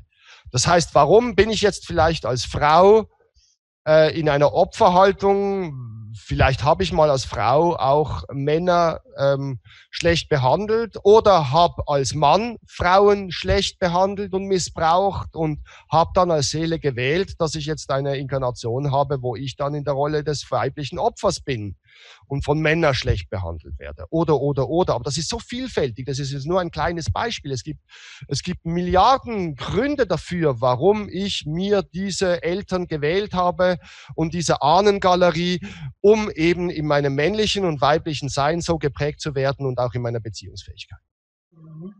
Ich glaube, das eines der wichtigsten Sachen ist aber auch, wie du das eben vorhin auch schon gesagt hast, die Selbstliebe, also sich mit sich selber zu beschäftigen weil das ist ja auch etwas, was man äh, heutzutage nicht unbedingt äh, als Schulfach in der Schule lernt, ähm, sich mit sich selbst zu beschäftigen, sondern wir lernen ja eigentlich den ganzen Tag, äh, so muss die perfekte Frau sein, so muss der perfekte Mann sein und äh, versuchen uns dann daran zu orientieren, was dann ganz schnell auch wieder Selbstzweifel äh, hervorruft, indem man sagt, ach Mensch, guck mal, so sehe ich ja gar nicht aus oder den Bart habe ich ja gar nicht, weil mir gar kein Bart wächst oder wie auch immer, ne?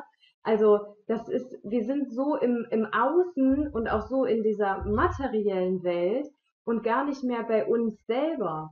Das ist das, was ich eigentlich so erschreckend finde und es auch teilweise sehr schwierig finde, wirklich wieder, also man muss wirklich alles ausmachen, um eben überhaupt nicht mehr diese Fremdbeeinflussung zu haben, um sich wieder auf sich selbst konzentrieren zu können und wirklich mal in sich reinfühlen zu können, was will ich eigentlich? Absolut richtig. Also wir, es, alles Fremde generiert zuerst mal einen Konflikt. Und dann ist einfach die Frage, was ist stärker? Der Druck, mich dem Fremden unterwerfen zu müssen, aus welchen Gründen auch immer.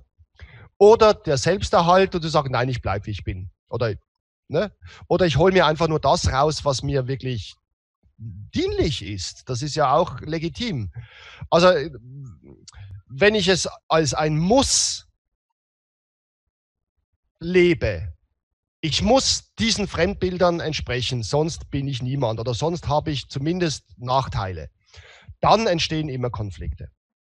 Wenn ich es einfach nur als Angebote betrachte und sage, ah, doch, das inspiriert mich. Ich finde es toll, wie dieser Mann irgendwas tut oder lebt oder seine Ansicht. Und ich nehme das und versuche oder integriere es soweit möglich und versuche es auch zu leben, also auch zu meiner Natur zu werden zu lassen. Ich meine, das muss gekostet werden, gekaut werden, geschluckt werden, verdaut werden, assimiliert werden. Und was ich nicht mehr brauche, wird ausgeschieden. Genauso wie bei normaler Nahrungsaufnahme. So geht das auch mit den Dingen. Dann ist es ein natürlicher Prozess und dann kann ich daran wachsen.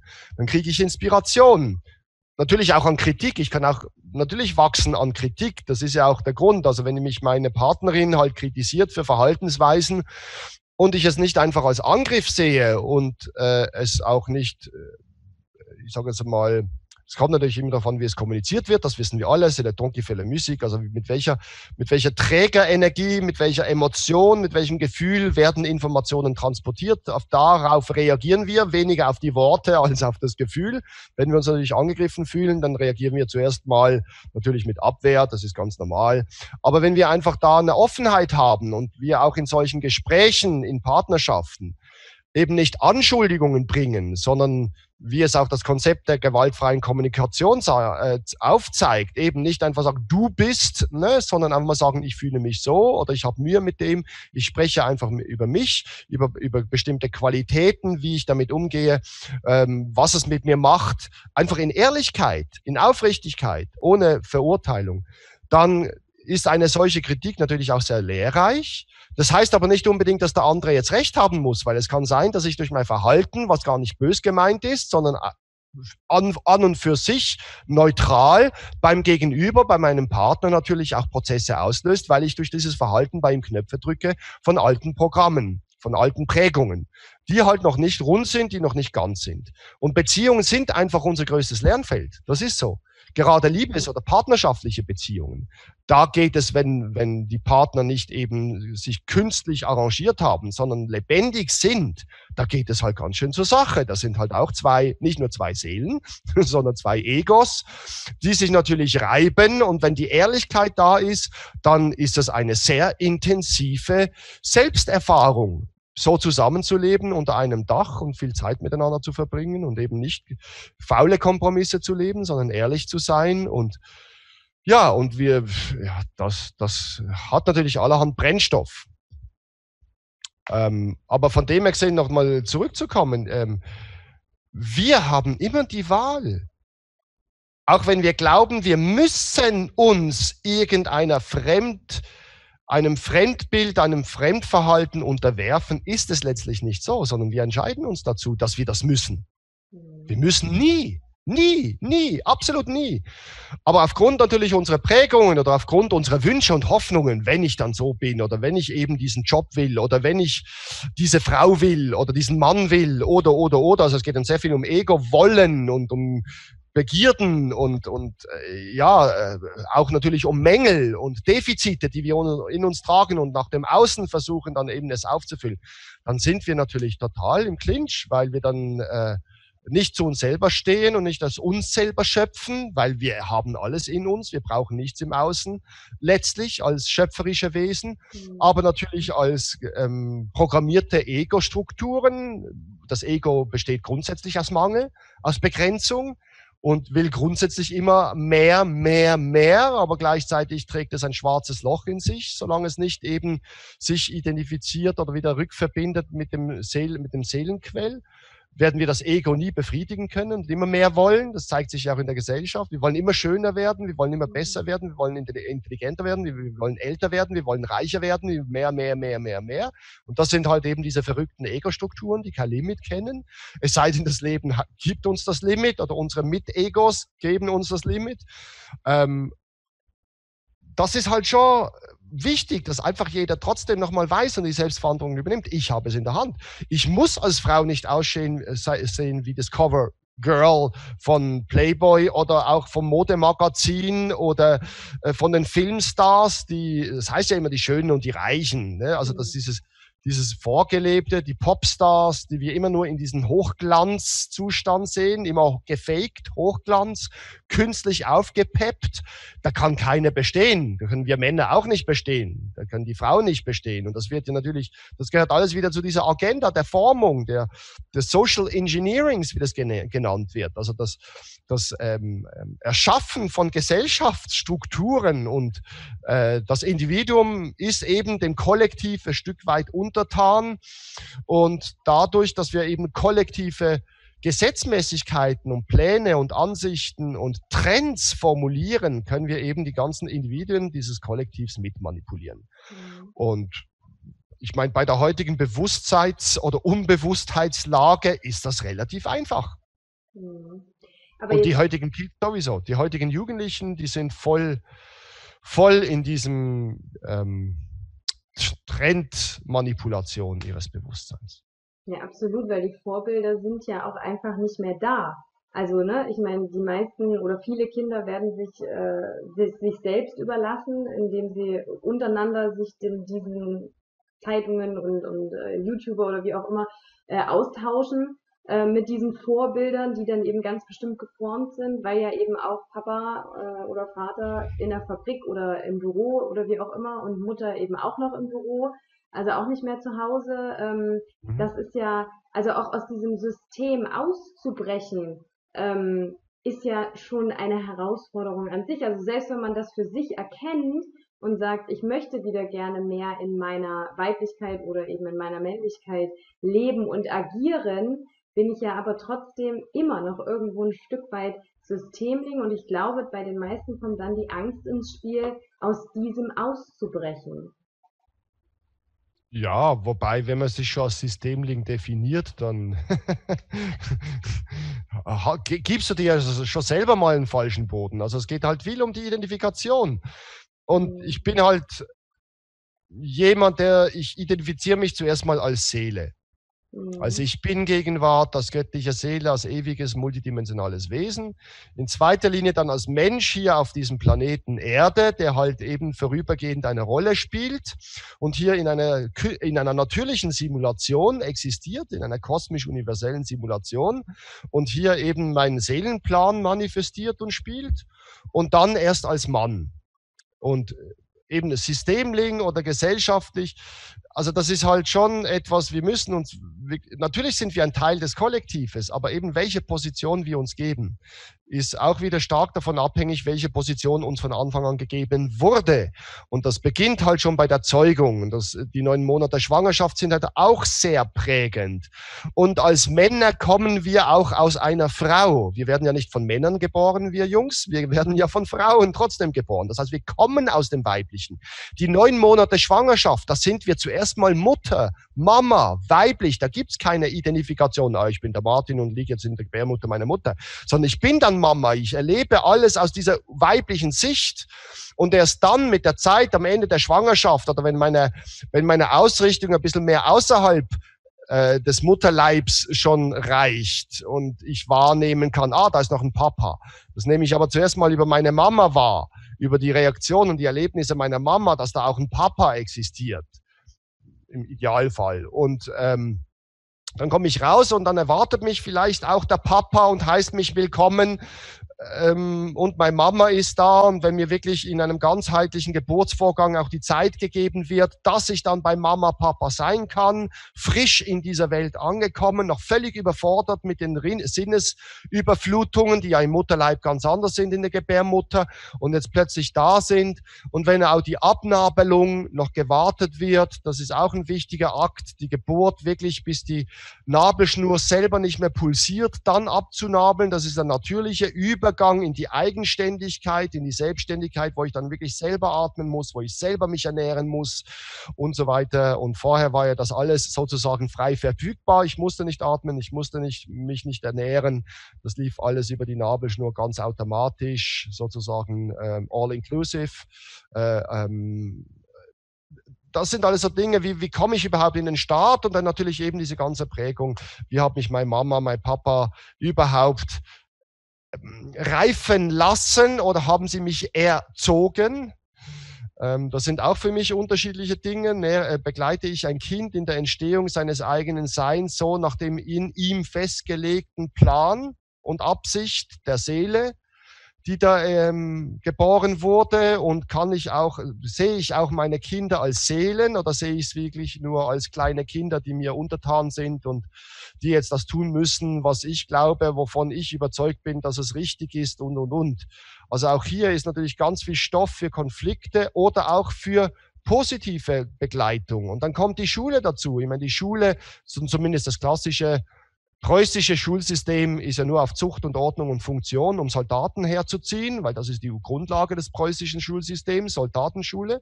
Also Befehlsempfänger und Gehorsam und Soldaten, die einfach machen, was ihnen gesagt wird und die nicht selber denken, aber so viel wie möglich von den Fremdinformationen, die man ihnen eintrichtert, behalten können und es als ihre Wahrheit dann auch noch integrieren und assimilieren. Äh, um das geht es nicht. Darum findet Gott sei Dank so langsam auch eine Veränderung unseres Schulsystems, also des Begleitsystems statt, wenn eben die Kinder aufwachsen, auch wenn die Eltern nicht da sein können. Und es ist richtig, natürlich kann ich mich als Eltern nicht aus diesem System äh, entziehen. Es sei denn, ich habe schon genügend Selbstbewusstheit und Schöpfer Bewusstsein in mir gebildet dahingehend, dass ich mich nicht in einen Sklavenjob begeben muss und meine Lebenszeit für irgendein paar Kröten, äh, ein paar bunte Papierschnitzel oder ein paar, ein paar, paar Zahlen im Computer ähm, verheizen muss, sondern dass ich wirklich mir mein Leben selber erschaffen kann. Auch dann natürlich, dann sind die meisten selbstständig in ihrer Eigenverantwortung und manifestieren das, was sie für, für richtig halten oder haben zumindest eine Arbeitsstelle, wo sie auch glücklich sind. Aber die Überlegung auch nochmal, wenn die Eltern natürlich ihre Kinder nicht erziehen können. Früher gab es dafür die Großeltern. Das war eine ganz wichtige Aufgabe. Das heißt, die Großeltern in ihrer Reife, das muss man auch unterscheiden. Eltern sind selber noch im Werden begriffen in ihrer Entwicklung. Und Großeltern haben es schon hinter sich. Großeltern sind in der Regel in einem Lebensalter, wo sie, wo sie die Welt ganz anders betrachten. Und, und interessanterweise gibt es auch ein enges Band zwischen Großeltern und Enkel. Die verstehen sich in der Regel immer besser wie Eltern und Kinder. Nicht nur, weil die Großeltern viel großzügiger sind, gelassener sind und den Enkelkinder viel mehr durchgehen lassen. Das muss ja gar nicht sein. Ne, das kommt ja wieder auf den Charakter der Großeltern an. Sondern einfach diese Ver Ver Verbindung, weil die Großeltern mit einem anderen Blick ähm, mit den Enkelkindern umgehen. Und deshalb war das früher eben dieses Mehrgenerationenhaus ganz wichtig, dass die Großeltern an der Erziehung der Kinder der Enkelkinder eben beteiligt waren und dadurch auch Ressourcen oder Raum frei wurde für die Eltern, sich um das Tagesgeschäft zu kümmern. Oder früher war es halt die Existenz, den Hof zu erhalten, das, das, die Nahrung herbeizubringen, äh, die zu verarbeiten, das Zuhause aufrecht zu halten, was ja auch ein Job ist. Also Hausfrau und Mutter ist ja ein gigantischer Job. Das ist ja der Wahnsinn. Wenn man das in, in Geld bezahlen müsste, äh, dann wären das eigentlich Managergehälter wenn man es rein von der Arbeit, vom, vom, von der Verantwortlichkeit und von der Arbeit und vom Aufwand und von den Stunden jeden Tages sozusagen so äh, eins zu eins vergleichen möchte, dann würden, würde jede Mutter und Hausfrau ein Managergehalt kriegen. Ähm, also, die ganze Struktur ist heutzutage natürlich so, dass die Großeltern auch nicht mehr da sind oder zu wenig da präsent sind. Und ähm, ja, dann Was bleibt den Eltern übrig, wenn sie zwei Jobs brauchen, wenn sie es müssen, um existenziell über die Runden zu kommen oder zumindest ein gewisses Niveau halten zu können? Ähm, ja, dann ist natürlich das Problem, dass die Kinder dann in, in staatlichen Obhutsanstalten hergezüchtet werden. Was jetzt aber nicht unbedingt schlecht sein muss, auch hier wieder ist die Frage, weil erstens einmal sind es Menschen, die Lehrer sind. Okay? Also ich weiß das halt aus der Erfahrung meines Vaters. Mein Vater hat alles wirklich im menschlichen Kontext getan und nicht im schulischen Kontext und nicht in dem Kontext, wie es von ihm verlangt wurde, sondern er hat sehr viel Grenzen gebogen, um eben immer auf der menschlichen Seite zu bleiben und den Kindern sie als Menschen zu behandeln und ihnen so gut es ihm möglich war, auf menschlicher Ebene neues Wissen beizubringen und nicht auf dieser Trimmung, auf dieser Anstaltsebene, systemtreuen Ebene von du musst jetzt einfach und so weiter.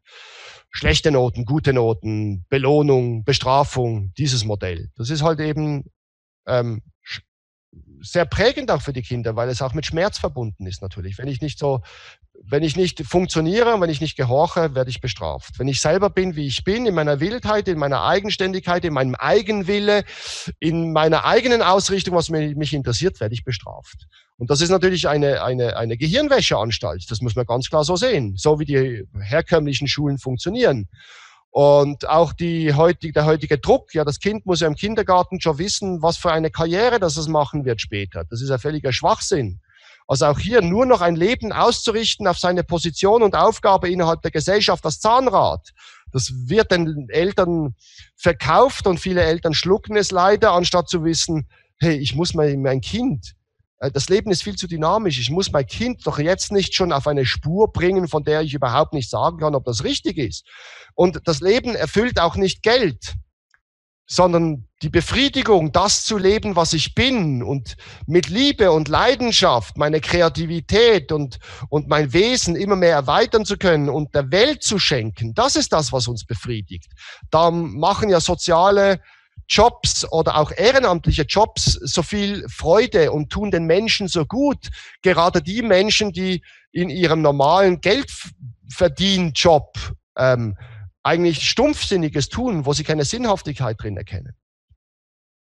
Also auch hier gibt es ganz viele Möglichkeiten, wie man mit den Kindern umgehen kann, wie man die Kinder begleiten kann. Es gibt jetzt eben Waldorfschulen, es gibt äh, Montessori-Schulen, es entstehen auch ähm, neue Schulkomplexe ähm, oder Konzepte weltweit, und da ist zum Beispiel auch Homeschooling natürlich auch eine, eine bewährte Geschichte. Also es hat auch gezeigt, dass Homeschooling viel gesünder ist.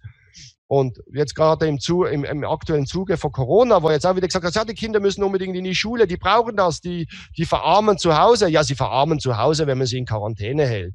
Und wenn sie in ihrem privaten Umfeld keine Freunde haben oder ihre Freunde nicht sehen können, dann ist es natürlich für die Kinder schlecht, über Wochen oder Monate diesen sozialen Kontakt mit ihren Gleichaltrigen oder mit ihren Freunden und auch Feinden nicht mehr zu haben. Das ist schon klar. Aber äh, es ist nicht so, dass die Kinder die Schule wirklich bräuchten, wenn wir es schaffen als Eltern oder wenn wir es schaffen, auch als Gemeinschaft eine gesunde Vernetzung zu haben innerhalb einer Community, einer Gemeinschaft, einer Dorfgemeinschaft oder in einem Landkreis oder wie auch immer das organisiert dann ist, dann braucht es keine Schulen und dann kann man wirklich im Freischulemodell den Kindern selber überlassen, was sie lernen wollen, weil das ist die beste Methode und Möglichkeit. Wir müssen ja auch eine, eine, Eiche nicht äh, äh, vorschreiben, wie sie zu wachsen hat, weil ja alles in der Eichel schon vorhanden ist. Und wenn wir da eingreifen, dann machen wir natürlich unter Umständen den Fehler, dass wir aus dieser Eiche eine Bonsai-Eiche schnippeln. Und das ist so ein Prinzip, ein Bild, was ich auch bei vielen Kindern einfach erkennen kann. Sie werden zu Bonsai-Menschen hingeschnippelt und zurechtgestutzt, um in dieses Bild, was halt von der Gesellschaft, beispielsweise der elitären Ebene der Gesellschaft von ihnen verlangt wird, ähm, um sie dahin zu, zu, zurechtzustutzen. Und das ist, hat für mich halt ganz wenig mit Leben zu tun und ist, ist natürlich sehr künstlich. Aber auch nochmal, es sind alles Angebote und wir als persönliche Schöpfer sind hier gefordert in unserer Entscheidung, ob wir da mitmachen oder nicht. Ob wir unsere eigenen Schulen gründen. Das ist ja möglich, sogar in Deutschland, wo es sau schwierig ist, weil wir haben hier wirklich Schulzwang und bei Gesetz äh, äh, und hohen Strafen bis zum Gefängnis natürlich einen, einen Zwang auf, die, auf den Eltern und auf den Kindern, dass sie in die Schule müssen. Und das hat auch wieder seine, seine, seine, seinen Grund, warum das so ist. Und in den meisten Ländern dieser Welt gibt es keinen Schulzwang nicht mal eine Schulpflicht, sondern ist Homeschooling gang und gäbe, gerade in Ländern, wo es natürlich viel ländliche Gebiete hat, wo die Schulen viel zu weit weg sind. Und das Einzige, was dann die Möglichkeit besteht, um dann innerhalb dieses Systems trotzdem seinen äh, Master, Bachelor oder einfach seinen Abschluss zu machen, ist einfach, dass man dann an die Prüfungen geht. Und die werden dann von in Anführungszeichen staatlichen Institutionen abgenommen. Aber dieser Weg des freiwilligen Lernens, aus das Lernen aus dem, aus dem Kind selber heraus, garantiert, dass das Kind auch interessiert ist an dem, was es lernt. Und dann speichert es auch, dann behält es das auch und dann bildet es Kreativität aus, weil es darf und muss nicht. Das sind zwei ganz unterschiedliche Lebenskonzepte. Ob ich lebe aus dem Darf-Prinzip, ich darf es, oder ich muss es. Das sind Welten, wie wir dann ticken, wenn wir es auf der Grundlage des Dürfens oder auf der Grundlage des Müssens leben. Und wenn man eben, man weiß, dass Kinder viel intelligenter sind, wenn man ihnen überlässt, was sie lernen wollen, wie sie es lernen wollen und einfach nur begleitet werden und unterstützt werden in diese, in diesem Wachstum, dann werden, dann können die eben ganz gesunde, große Bäume, sprich Menschen werden, die halt tief verwurzelt sind, auch in der natürlichen Welt, aber auch nach oben in der künstlichen Welt und in den vielen Möglichkeiten, die wir auf, äh, als Schöpfer einfach haben innerhalb äh, dieses Planetensystems, um das dann eben äh, stark und stabil den Weg zu gehen aber natürlich eben auch Grenzen brauchen. Also ich bin auch kein Freund von anti-autoritärer Erziehung weil ich einfach wahrnehme, dass, äh, dass das Monster gebiert, generiert. Also, dass es Kinder, die einfach wirklich dann maßlos aus dem Ego heraus gar kein Maß kennen, gar keine Grenzen kennen, keine soziale Interaktion kennen, kein Verzicht kennen und was auch alles psychologisch daraus resultiert.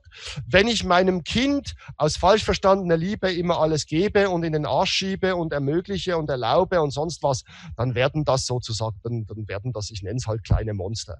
Und das ist ja auch nicht Sinn und Zweck von der ganzen Geschichte. Ähm, also es ist eine riesen Herausforderung, also grundsätzlich. Und darum gibt es ja auch die, dieses tolle polare Spiel, Mann sein, Frau sein, irgendwas dazwischen, beides zugleich, Kind sein, Eltern sein. Das sind, das, das schon, schon alleine das Konzept dieser, dieser, dieser Lebensstruktur schenkt uns eine unendliche Fülle von Erfahrungsmöglichkeiten und Qualitäten. Ein sehr, sehr spannendes Thema, was, glaube ich, man auch noch in ganz, ganz viele Bereiche ausschmücken könnte, weil es irgendwie ja, alle Lebensbereiche betrifft, äh, egal eben ob Kind, äh, Frau oder Mädchen, Frau und Junge und Mann. Mhm. Ähm, genau. Was ist denn deine Botschaft, die du gerne noch äh, an die Zuschauer senden möchtest zu diesem Bereich? Also das Wichtig, ich finde es einfach am wichtigsten, dass ihr von euch, sel euch selber abholt, wo ihr steht. Und das, wenn möglich, mit dem Blick als Seelen auf euren Menschen. Und der Blick der Seele auf den Menschen ist immer liebevoll, mitfühlend, Anerkennung, respektvoll, achtend, unterstützend. Also aus einer Haltung, wie wenn wir es uns vorstellen, wie wenn liebende Eltern uns selber betrachten. Ne? Liebende Eltern sind immer stolz auf ihre Kinder oder haben immer Mitgefühl und möchten sie immer unterstützen, aber auch schützen. Also mal einfach diese Haltung uns selber gegenüber zu haben, dass wir uns betrachten mit den Augen der Liebe, mit den Augen der Seele, der Weisheit und des bestmöglichen oder des optimalen Bewusstseins. Auch natürlich unsere Schwächen. Und dann uns da abholen, wo wir sind und auch zu wissen, wir haben jederzeit die Freiheit zu wählen, was wir wählen wollen. Wir müssen uns nicht unterwerfen und alle Angebote, die von außen kommen, dürfen wir annehmen, wenn sie uns denn genehm sind, wenn sie uns dienlich sind und wir dürfen sie ablehnen, wenn sie sagen, nein, das ist nicht meins, das dürfen wir, dafür sind wir hier, um diese Experimente zu machen. Und wir haben mittlerweile eine riesige Fülle an Möglichkeiten, uns zu inspirieren, inspirieren zu lassen oder uns Unterstützung zu holen. Ähm, von außen, von anderen Menschen, von Konzepten und äh, Strukturen, die uns da dienlich sind. Und dass wir einfach wissen, wir haben eben die Freiheit, dass wir das, aber wir müssen es. Also da bin ich ein Stück weit, ja, wir müssen es nicht wirklich, wir dürfen es, aber irgendwo in der heutigen Zeit ist es ein Muss, weil wir alle getrieben werden, neue neue Rollen zu definieren als Männer, als Frauen, Beziehungsrollen, Familienrollen, Kinderrollen. Das will jetzt alles neu geschrieben werden, weil wir einfach in den letzten Jahrtausenden viel zu viel Negatives, Destruktives ähm, durchlebt haben und dem Macht gegeben haben. Und jetzt will sich ganz viel korrigieren und und heilen und transformieren und auch auf eine höhere Bewusstseinsebene gelangen. Und das betrifft natürlich unsere ganze Gesellschaft und das betrifft jeden Einzelnen von uns in unserer Rolle als Mensch und als Frau oder als Mann, äh, dass sich das alles verändern wird. Und dass wir einfach Bescheid wissen, wir sind hier auf einem Weg und es gibt keine absoluten Lösungen oder Wahrheiten. Wir sind in diesem Experiment äh, noch Frischlinge. Wie können wir es wir haben zwar die Erfahrung der Vergangenheit, wie es bis jetzt lief, zumindest wie, wie wir es nachvollziehen können. Die offeneren Menschen von uns können natürlich auch eintauchen in die frühere Historie, wie es alte Kulturen gemacht haben nicht nur über Überlieferungen, sondern auch medial. Wie war denn das in der Kultur von Atlantis? Wie war das in der Kultur, äh, in der Hochkultur von Ägypten, in Indien, in, bei den Maya oder all, welche Hochkulturen auch immer wir da wählen und uns anschauen, was waren denn da für Modelle oder für Konzepte. Und wir können uns natürlich aber auch intuitiv oder Kraft unseres Bewusstseins mit den archetypischen Feldern verbinden. Was finden wir denn da für eine Inspiration, wenn wir uns mit den Göttinnen oder mit den Göttern mal in Verbindung setzen? Ich meine, wenn man die griechischen oder auch die römischen Götter betrachtet, dann muss man sagen, das waren mehr Halbgötter, weil die hatten so viel Ego und so viel ähm, Kämpfe und Spannungen und, und Eigenwille und Egoismus, das ist jetzt nicht unbedingt gerade vielleicht die beste spirituelle Grundlage. Aber es gibt eben auch archetypische Felder in der geistigen Welt, die die gesunden spirituellen Konzepte von Mann sein, Frau sein, Umgang mit Kindern, auf, Begleitung von Kindern, Erziehung in Anführungszeichen von Kindern, Schulmodellen und so weiter. Das gibt es ja alles. Und die inspirierten Menschen und Eltern, die sich da berufen fühlen, da neue Konzepte umzusetzen, die sind ja auch in Verbindung mit diesen inneren Feldern. Das heißt, es gibt da auch ganz viel aus der geistigen Welt und ich glaube, das ist auch ein Weg, der immer mehr Raum bekommt, auch in der normalen Gesellschaft, dass wir uns wirklich erlauben, uns inspiriert zu werden und nicht immer Beweise fordern oder nicht immer nur die scheinwissenschaftlichen Ebenen von Psychologie, Soziologie, äh, Anthroposophie und diese Konzepte alle so dieses studierte akademische zu Rate ziehen, was halt eben auch sehr wieder gefiltert und verdreht und verzerrt zum Teil ist, sondern uns erlauben, direkt mit den archetypischen Feldern des Lebens halt in Verbindung zu treten. Und für die Frauen halt wirklich zu wissen, es ist jetzt eine Jahrtausende Heilarbeit bei, im weiblichen Feld einfach jetzt schon seit Jahrzehnten am Laufen, eine Heilarbeit eben aufgrund dieser patriarchalen Strukturen. Und äh, da geht es jetzt darum, dass die Frauen eben in ihre Frauenpower kommen und sich nicht als, als, als die besseren Männer ähm, ja, überzeugen lassen, ne, dass sie ihren Mann stehen sollen. Um das geht's ja gar nicht, sondern wir brauchen jetzt die weiblichen Qualitäten, die einfach in unserer Gesellschaft zu wenig sind, wobei auch hier die Männer auch nicht gesund sind, also auch für die Männer. Natürlich, wenn wir vom Patriarchat sprechen, dann sprechen wir auch ein Stück weit vom, vom verwundeten Mann, vom, vom kranken Mann, weil ein gesunder Mann braucht kein Patriarchat. Genauso wie eine gesunde Frau kein Matriarchat braucht sondern da ist eine Ausgewogenheit, ein Miteinander, ein, eine, ein freudiges Fest, ein Tanz, ein ewiges Miteinander gebären und neu erschaffen und ein, eine Quelle von, von so unglaublichen Möglichkeiten und Fähigkeiten und Qualitäten, wenn das Männliche und das Weibliche miteinander eben sich vereinigt und höher schwingt. Und das beginnt zuerst mal in mir selber, dieser Tanz, diese Beziehung zwischen meiner eigenen männlichen und weiblichen Seite. Und erst dann, sekundär, geht es um die Beziehungen im Außen. Das heißt, auch die Männer haben viel zu heilen auch aus der Täterrolle, auch der Täter ist ein Opfer, auch der, der Mann als Täter ist eben krank und verwundet und äh, ist nicht gesund und in seiner wahren Kraft. Also auch die Männer sind nicht in ihrer Kraft.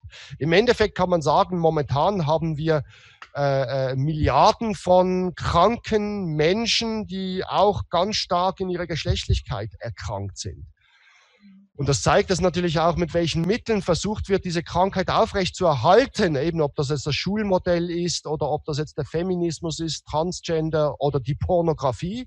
Das ist natürlich auch ein Riesenthema, Pornografie, Sex Sales und überhaupt die Pornoindustrie, die ja auch hier hauptsächlich auf die Männer gerichtet, aber auch immer mehr auf die Frauen gerichtet, völlig falsche Konzepte von Sexualität, von Körperlichkeit, von Beziehung und so weiter bewusst ins Feld der Menschen anbietet. Und man weiß, dass Pornografie eine hochgradige Sucht ist. Mhm. Also dass das Porno, Pornografie, also me süchtige Menschen nach Pornografie, sexsüchtige Menschen, die sind so süchtig wie, äh, wie Junkies, wie Heroinsüchtige. Mhm.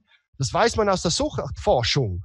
Und es wird bezahlt, es wird, es ist organisiert. Und wenn es dann noch natürlich noch weiter geht in die Kinder, in die, in die Kinderpornografie, in die Pädophilie und noch, noch in tiefere Räume von absolut abartiger Art und Weise, wie man mit Kindern umgeht. Und wenn man weiß, was es mit Kindern macht, wenn man die schon sehr früh sexuell missbraucht und konditioniert und so weiter, was das für Erwachsene werden in ihrer psychologischen Struktur, ähm, finde ich es sehr wichtig und gut, dass im Moment sehr aufgeräumt wird mit diesen ganzen pädophilen Strukturen. Aber das ist eben nur eine, eine Ebene. Und auch hier nochmal die, die sexuelle Manipulation über Werbung, äh, die äh, im, im Namen der sexuellen Freizügigkeit und der sexuellen Freiheit ist natürlich schon pervers.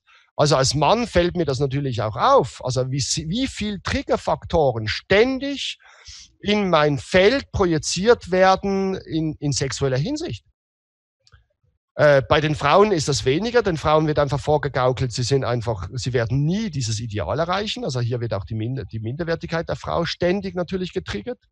Und bei den Männern wird halt ständig der sexuelle Trieb getriggert über irgendwelche sexuellen Bilder, über sexuelle Werbung, versteckt überall. Das ist sogar in Kinderfilmen von Walt Disney hat man in Analysen gefunden, dass hier überall sexuelle Symbole subliminal verpackt sind, um die Kinder schon äh, äh dahingehend äh, unbewusst zu triggern. Und wenn man natürlich dann in die Richtung geht, frühkindliche Sexualisierung, äh, frühkindlicher Sexualunterricht und so weiter, und man sieht, was da eigentlich für Absichten und was damit psychologisch wirklich generiert wird. Das hat nichts mit der Freiheit der Sexualität von Kindern zu tun, sondern da ist eine ganz klare pädophile, kranke Agenda dahinter, die sozusagen den Kindern schon das Sexobjekt und die vertrete pervertierte Sexualität schon eben in diesem Alter eingepflanzt wird.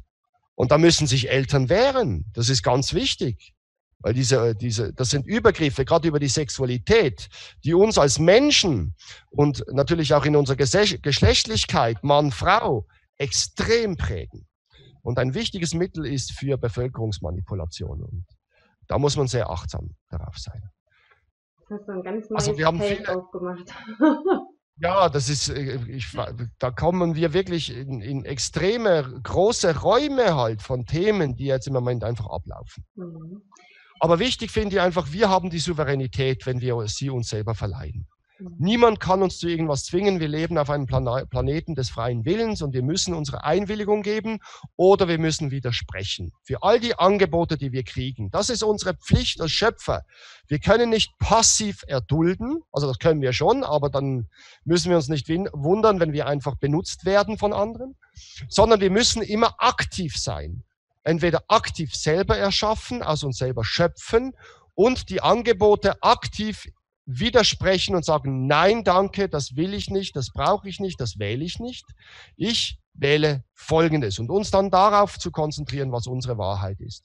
Und dann können wir uns erschaffen, wie wir wollen. Dann können wir uns als bunte Vögel manifestieren. Dann können wir was auch immer für Geschlechter uns ausdenken und sie umsetzen. Das ist die Freiheit.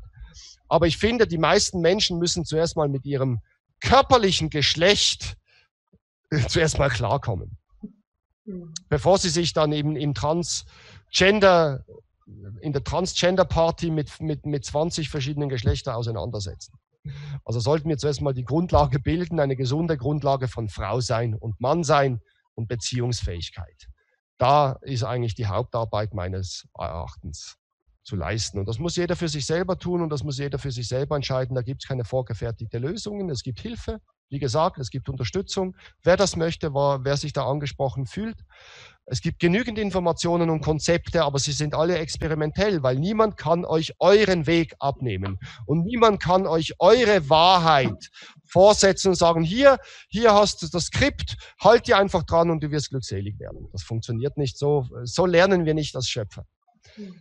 Und dafür sind wir hier. Ich danke dir sehr für deine Zeit und äh, für dein Wissen, lieber Martin. Ähm, es war ein sehr spannendes Thema und ich freue mich schon auf unseren ja, ich danke dir für, für die Gelegenheit. Ich bin nicht wirklich befriedigt jetzt von diesem Gespräch, auch wenn es schon wieder einige Zeit gedauert hat, aber weil das Thema einfach so gigantisch ist. Es ist unglaublich. Also da möchte ich einfach allen die Anregung geben, entscheidet euch, was ihr möchtet.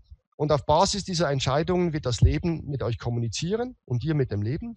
Und dann werdet ihr euren Weg, schon euren eigenen, einzigartigen Weg finden zu diesem Mann sein, Frau sein, Beziehungsleben, wie auch immer, was in euch darauf wartet, dass ihr es verwirklicht. Aber ihr müsst euch dafür entscheiden und einfach wirklich aus euch selber schöpfen in der Selbstverantwortung und den Weg gehen und euch nicht verbiegen lassen. Aber das ist ja grundsätzliches Thema, da können wir vielleicht noch mal ein anderes Mal drüber sprechen. Ich wollte gerade sagen. Danke euch vielmals. Danke dir, Francine, danke Vivotera und danke dir oder euch, liebe Zuschauer, wieder, dass ihr bei dieser Sendung dabei wart. Bis zum nächsten Mal. Liebe Zuschauer, wenn dir dieses Interview gefallen hat, dann lass uns gerne einen Like oder Kommentar da und vergiss nicht, unseren Kanal zu abonnieren, damit du kein weiteres wertvolles, spannendes Interview mehr verpasst. Alles Gute, bleibt im Frieden und bis zum nächsten Hier und Jetzt.